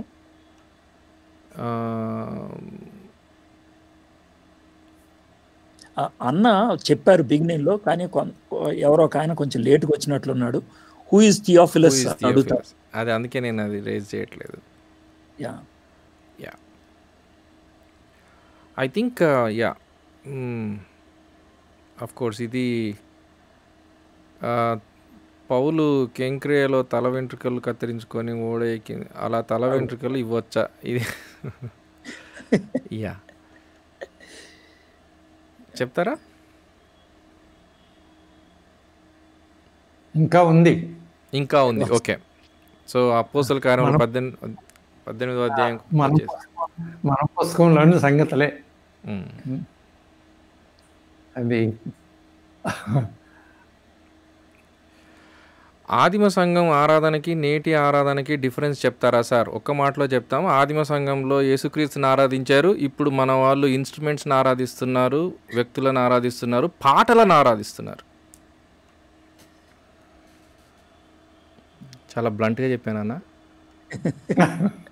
ఐఎమ్ సారీ అబౌట్ దాట్ అంటే ఇట్లాంటి ప్రశ్నలు విన్నప్పుడు నేను కొంచెం ఎమోషన్ అవుతాను ఎమోషనల్ అవుతాను. సో మీరేమన్నా స్మూత్గా చెప్తే చెప్పండి. అడిగిన వాళ్ళని వనలా నువ్వు? అవును. అడిగిన వాళ్ళని అనలే నేను. ఆయన కూడా ఆయన గురించి చెప్పట్లేదు. వేరే వాళ్ళ గురించి అడుగుతున్నాను కాబట్టి అందుకే అంత ధైర్యంగా చెప్పాను. లేకపోతే ఆయన కొడతారు నన్ను. Okay. Yeah I think we are done with the questions మన టైం కూడా అయిపోయింది అంకుల్ నాకు చాలా ఈరోజు ఆ, ప్యాసేజ్ చదువుతా ఉన్నప్పుడు మళ్ళీ చాలా కొత్తగా అనిపించినటువంటి మాట ఏంటంటే రెండవ వచనంలో పరమునకు చేర్చుకొనబడిన దినం వరకు.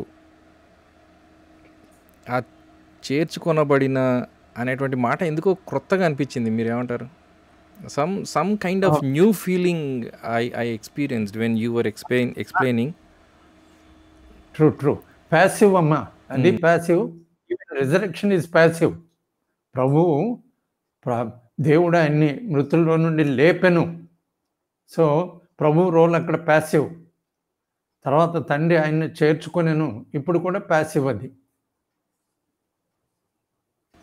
యా విలియమ్స్ గారు you want add anything until the day when he was taken up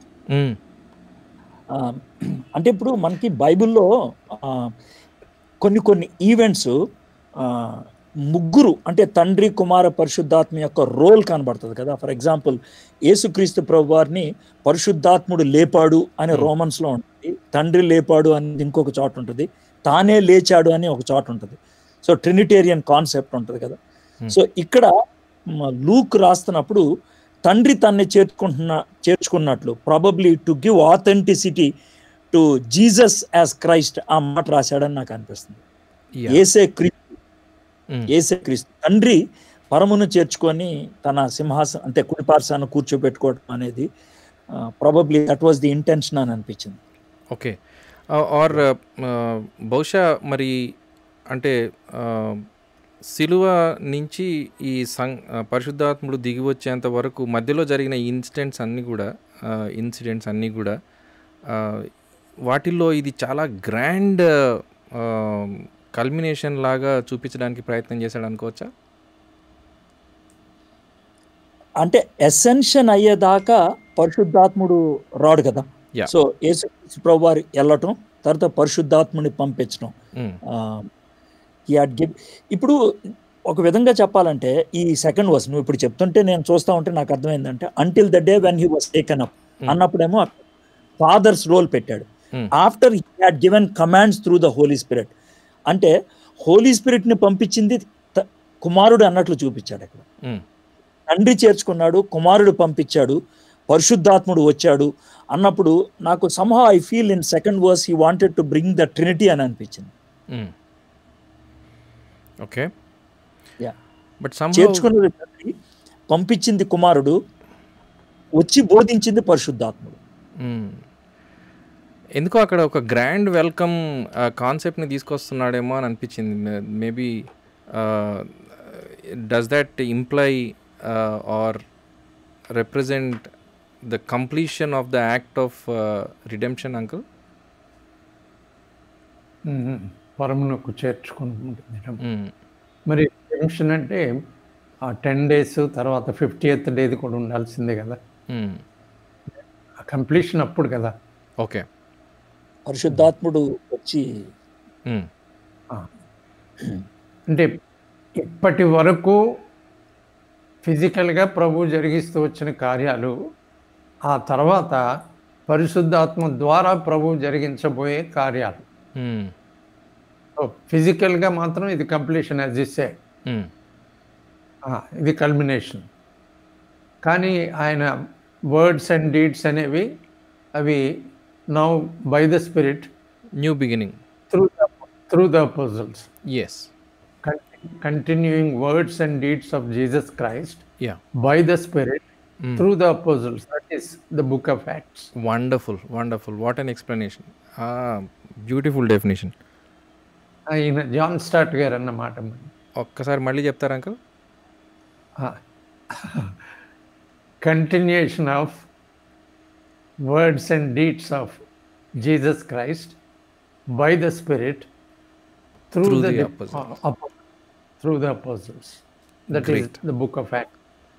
Great అయితే నాకు మనం ఇంతసేపు హిస్టారికల్ ఎవిడెన్సెస్ వాటి యొక్క ఇంపార్టెన్స్ అవి వ్రాయబడిన విధానము అంటే లూక్ వీటికి ఎంత ప్రాముఖ్యతనిచ్చాడు ఆ డీటెయిల్స్కి ఎంత ప్రాముఖ్యతనిచ్చాడు అనేటి అన్నీ మాట్లాడుతూ ఉన్నప్పుడు when God gave us so many evidences in spite of all those evidences why God expect us to honour faith నాకు కొంచెం అది ఈరోజు కలిగినటువంటి ప్రశ్న. మళ్ళీ మనల్ని ఆ యోహాన్ తోమా దగ్గరికి వచ్చేసరికి ఫెయిత్ గురించే మాట్లాడతాడు కదా?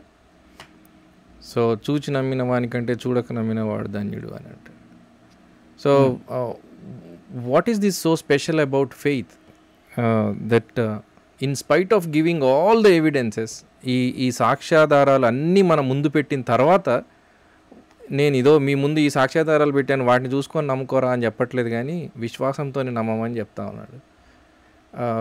Do you see what I'm trying to say uncle ఆహా. అంటే మరి ఇన్ని ఎవిడెన్సెస్ ఇచ్చిన తర్వాత మనకి మళ్ళీ ఫెయిత్ విషయంలో అంద అంత ఇంపార్టెంట్ అని ఎందుకు అనాలి? అదే నా పాయింట్ యా అవును. అంటే మన ఫెయిత్ మనం ఏమన్ ఏమనబోతున్నాం అంటే ఇది ఇర్రేషనల్ కాదు. It's rational faith ultimately on the person of Christ we put forth our faith కాబట్టి పర్సన్ ఆఫ్ క్రైస్ట్ విషయంలో ట్రూత్ ప్రజెంట్ చేయబడటం అనేది అది దట్స్ నెససరీ మనం ప్రభు ప్రభుకు సంబంధించిన సత్యాన్ని ఆయనలో విశ్వాసం ఉంచేప్పుడు తెలుసుకోకుండా ఉంచలేము. ఉంచితే అది స్పూరియస్సే. కాబట్టి faith it's not leap in the ఏమంటాం? Leap in the dark dark కదా? Faith is rational why we depend on the faithfulness of the person yes ఆయన యొక్క క్యారెక్టర్ మీద మనం విశ్వాసం ఉంచుతున్నాం. క్యారెక్టర్ తెలియబడాలి ఆయన గురించిన వివరాలు ఉండాలి. సో అవి ప్రూఫే కావచ్చు ఎక్స్ప్లెనేషనే కావచ్చు లేకపోతే ఇందాక మాట్లాడిన పద్ధతిలో డిస్క్రిప్షనే కావచ్చు ఏమన్నా కావచ్చు. విలియమ్స్ గారు మీరేమైనా యాడ్ చేస్తారా? అంటే మనకి యూజువల్ స్టేట్మెంట్ వేస్తారు కదా ఇది రీజన్ అండ్ అంటే evidences is nothing but reason కదా. Reason and faith are the two legs ఒకటి ఉండి ఒకటి లేకపోతే కనుక ఒక విధమైనటువంటి లోటు లాగా కనబడుతుంది. Only through reason if you can know the truth అది మీనింగ్లెస్గా ఉంటుంది. If it is only faith అంటే కనుక బ్లైండ్గా ఉంటుంది.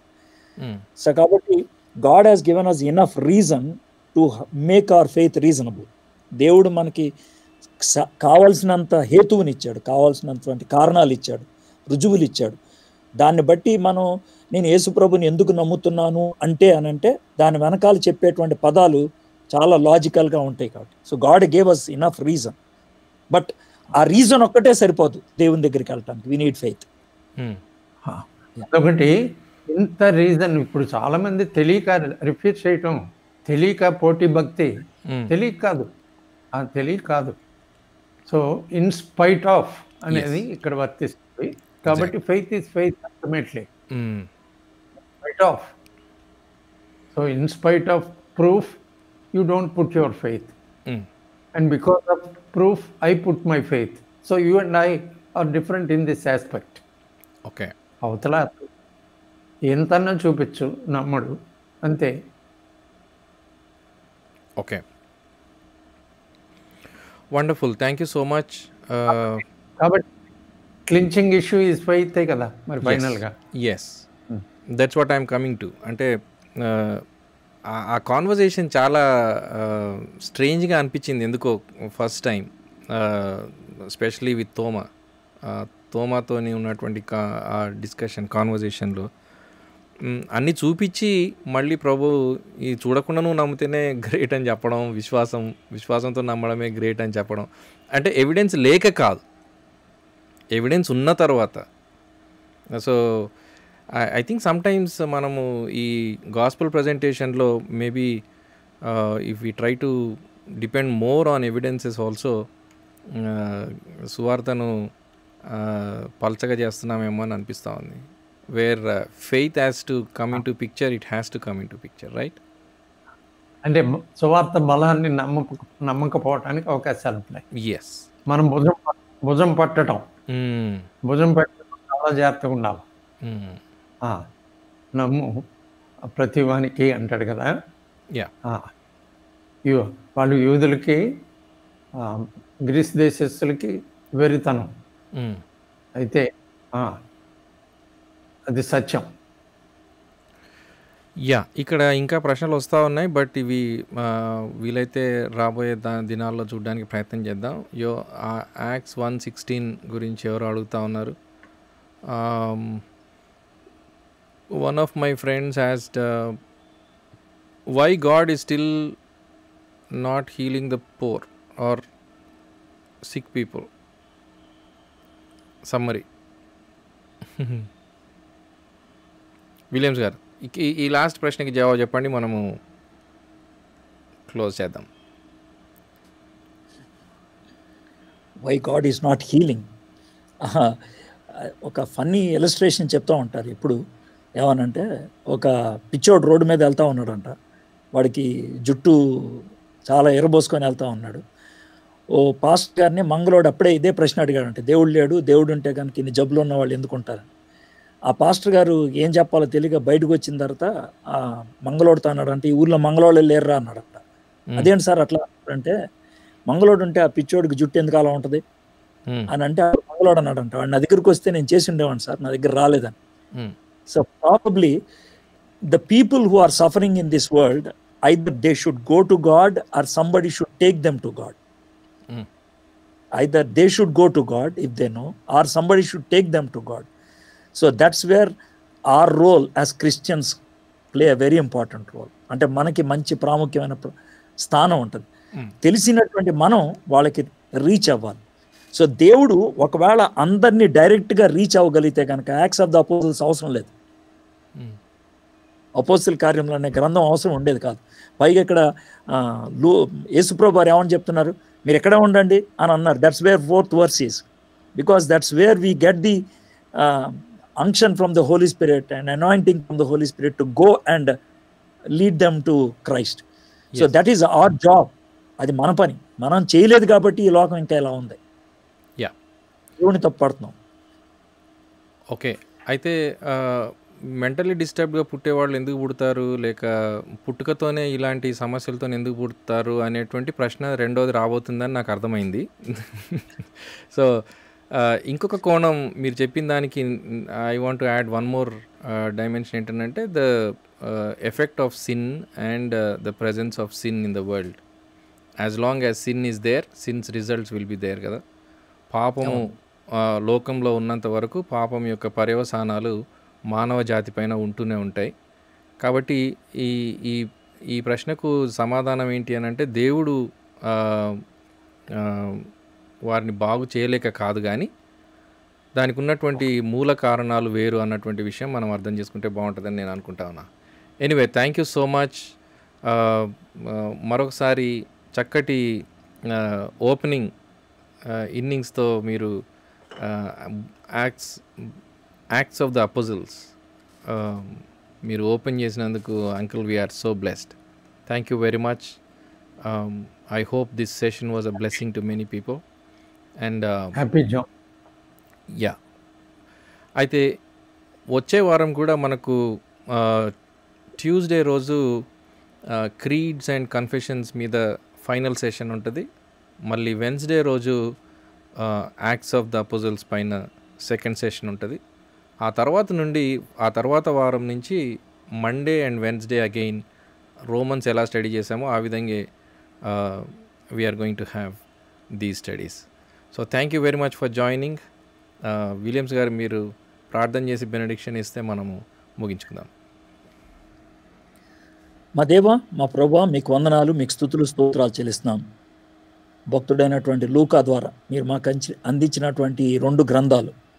ఒక గ్రంథంలో మీరు మా కోసం చేసినటువంటి పని అయితే రెండో గ్రంథంలో మా ద్వారా. మీరు పరిశుద్ధాత్మ క్రియలు జరిగించాలని ఇష్టపడుతున్నారు. ప్రభా రెండు కూడా మీరే ప్రభా.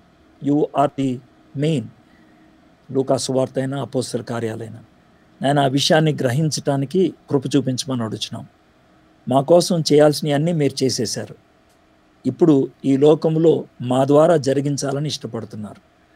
మేము ఈ అపోస్తల కార్యముల గ్రంథాన్ని ధ్యానం చేస్తున్నప్పుడు ప్రభా మమ్మల్ని మేము చూసుకోవడానికి.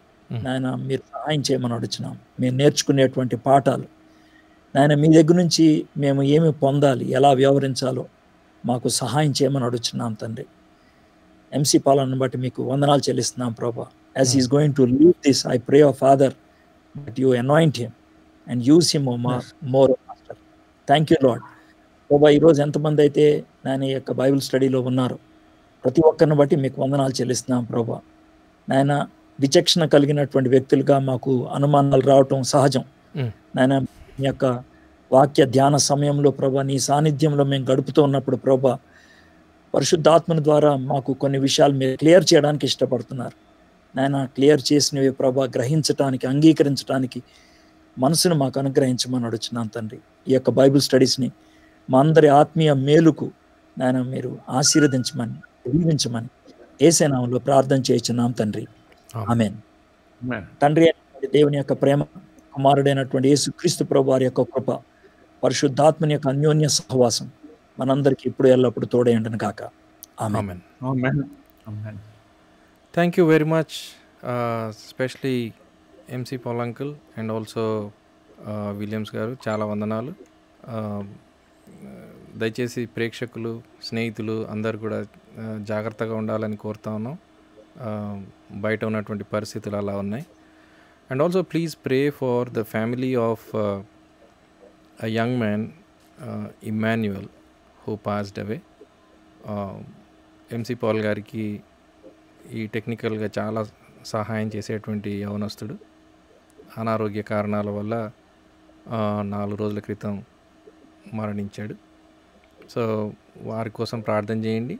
ఆయనకు ఐ మీన్ వారి కుటుంబం కోసం ప్రార్థన చేయండి. ప్రత్యేకంగా వాళ్ళ మదర్ కోసం ప్రార్థన చేయండి. ఆవిడే ఆయనకి లివర్ డొనేట్ చేశారు. అయితే బాబు చనిపోయాడు కానీ ఆమె కోలుకుంటా ఉన్నారు. సో ఆమె కొరకు ప్రత్యేకంగా ప్రార్థన చేయమని కోరుతా ఉన్నాం. Thank you very much. John very special person. అంటే బీటెక్ థర్డ్ ఇయర్ స్టూడెంట్. తన అండర్స్టాండింగ్కి అందరం ఆశ్చర్యపోవాల్సిందే. తన స్క్రిప్చరల్ అండర్స్టాండింగ్ ఆ సౌండ్ డాక్టరీన్. నేను ఈ మెలాంగ్టన్ అని అంటున్నప్పుడల్లా తనని గుర్తు నేను. సో అంత గొప్ప అండర్స్టాండింగ్ ఆ తర్వాత ఇంకా టెక్నికల్ ఎక్స్పర్టీస్ అయితే అసలు వర్ణించలేము. Then passion for passion for the gospel yeah love for God అమ్మో ఎందుకు మరి మనం? అందుకే అర్థం కాని విషయాల్లో మనం దేవుని వైపు చూస్తూ దిక్కు నువ్వే అని చెప్పుకుంటూ డే బై డే మనం గడపాలనే లెసన్ నేను నేర్చుకున్నాను. Okay yes thank you very much friends ఒక చిన్న ప్రకటన uh, మళ్ళీ uh, నిన్న చెప్పినట్టు మళ్ళీ గుర్తు చేయాలనుకుంటా ఉన్నాం. ఈ ఈ ఈ సంవత్సరము వీలైనంత మంది చిన్నపిల్లలు uh, దేవుని యొక్క వాక్యాన్ని సంపూర్ణంగా అంటే ఆది కాండం నుండి ప్రకటన గ్రంథం వరకు ఒక సంపూర్ణ అవగాహనతో రా అర్థం చేసుకోవాలని ఒక చిన్న పుస్తకం తయారు చేసాం మూడు వందల పన్నెండు పేజీలతోని. ఆ, పుస్తకంలో God's word for children in pictures అనేటువంటి పుస్తకం. సో బాలల కోసం దేవుని వాక్యం బొమ్మల్లో అనేటువంటి పుస్తకం. అది వీలైనంత మంది పిల్లలకు చేరి చేరవేయాలని మేము ఆశిస్తూ ఉన్నాం. సో అలా ఇంట్రెస్ట్ ఉన్నటువంటి వాళ్ళు పిల్లల కోసం భారం కలిగినటువంటి వాళ్ళు please contact us we can provide you with the books of course you have to buy and please gift the children ఎందుకంటే రాబోయే తరం దేవుని వాక్యానికి దూరం అవుతా ఉన్నట్టుగా చూస్తూ ఉన్నాం కాబట్టి so this is our request anyway thank you very much for joining please be safe may God help each one of us to be safe thank you and good night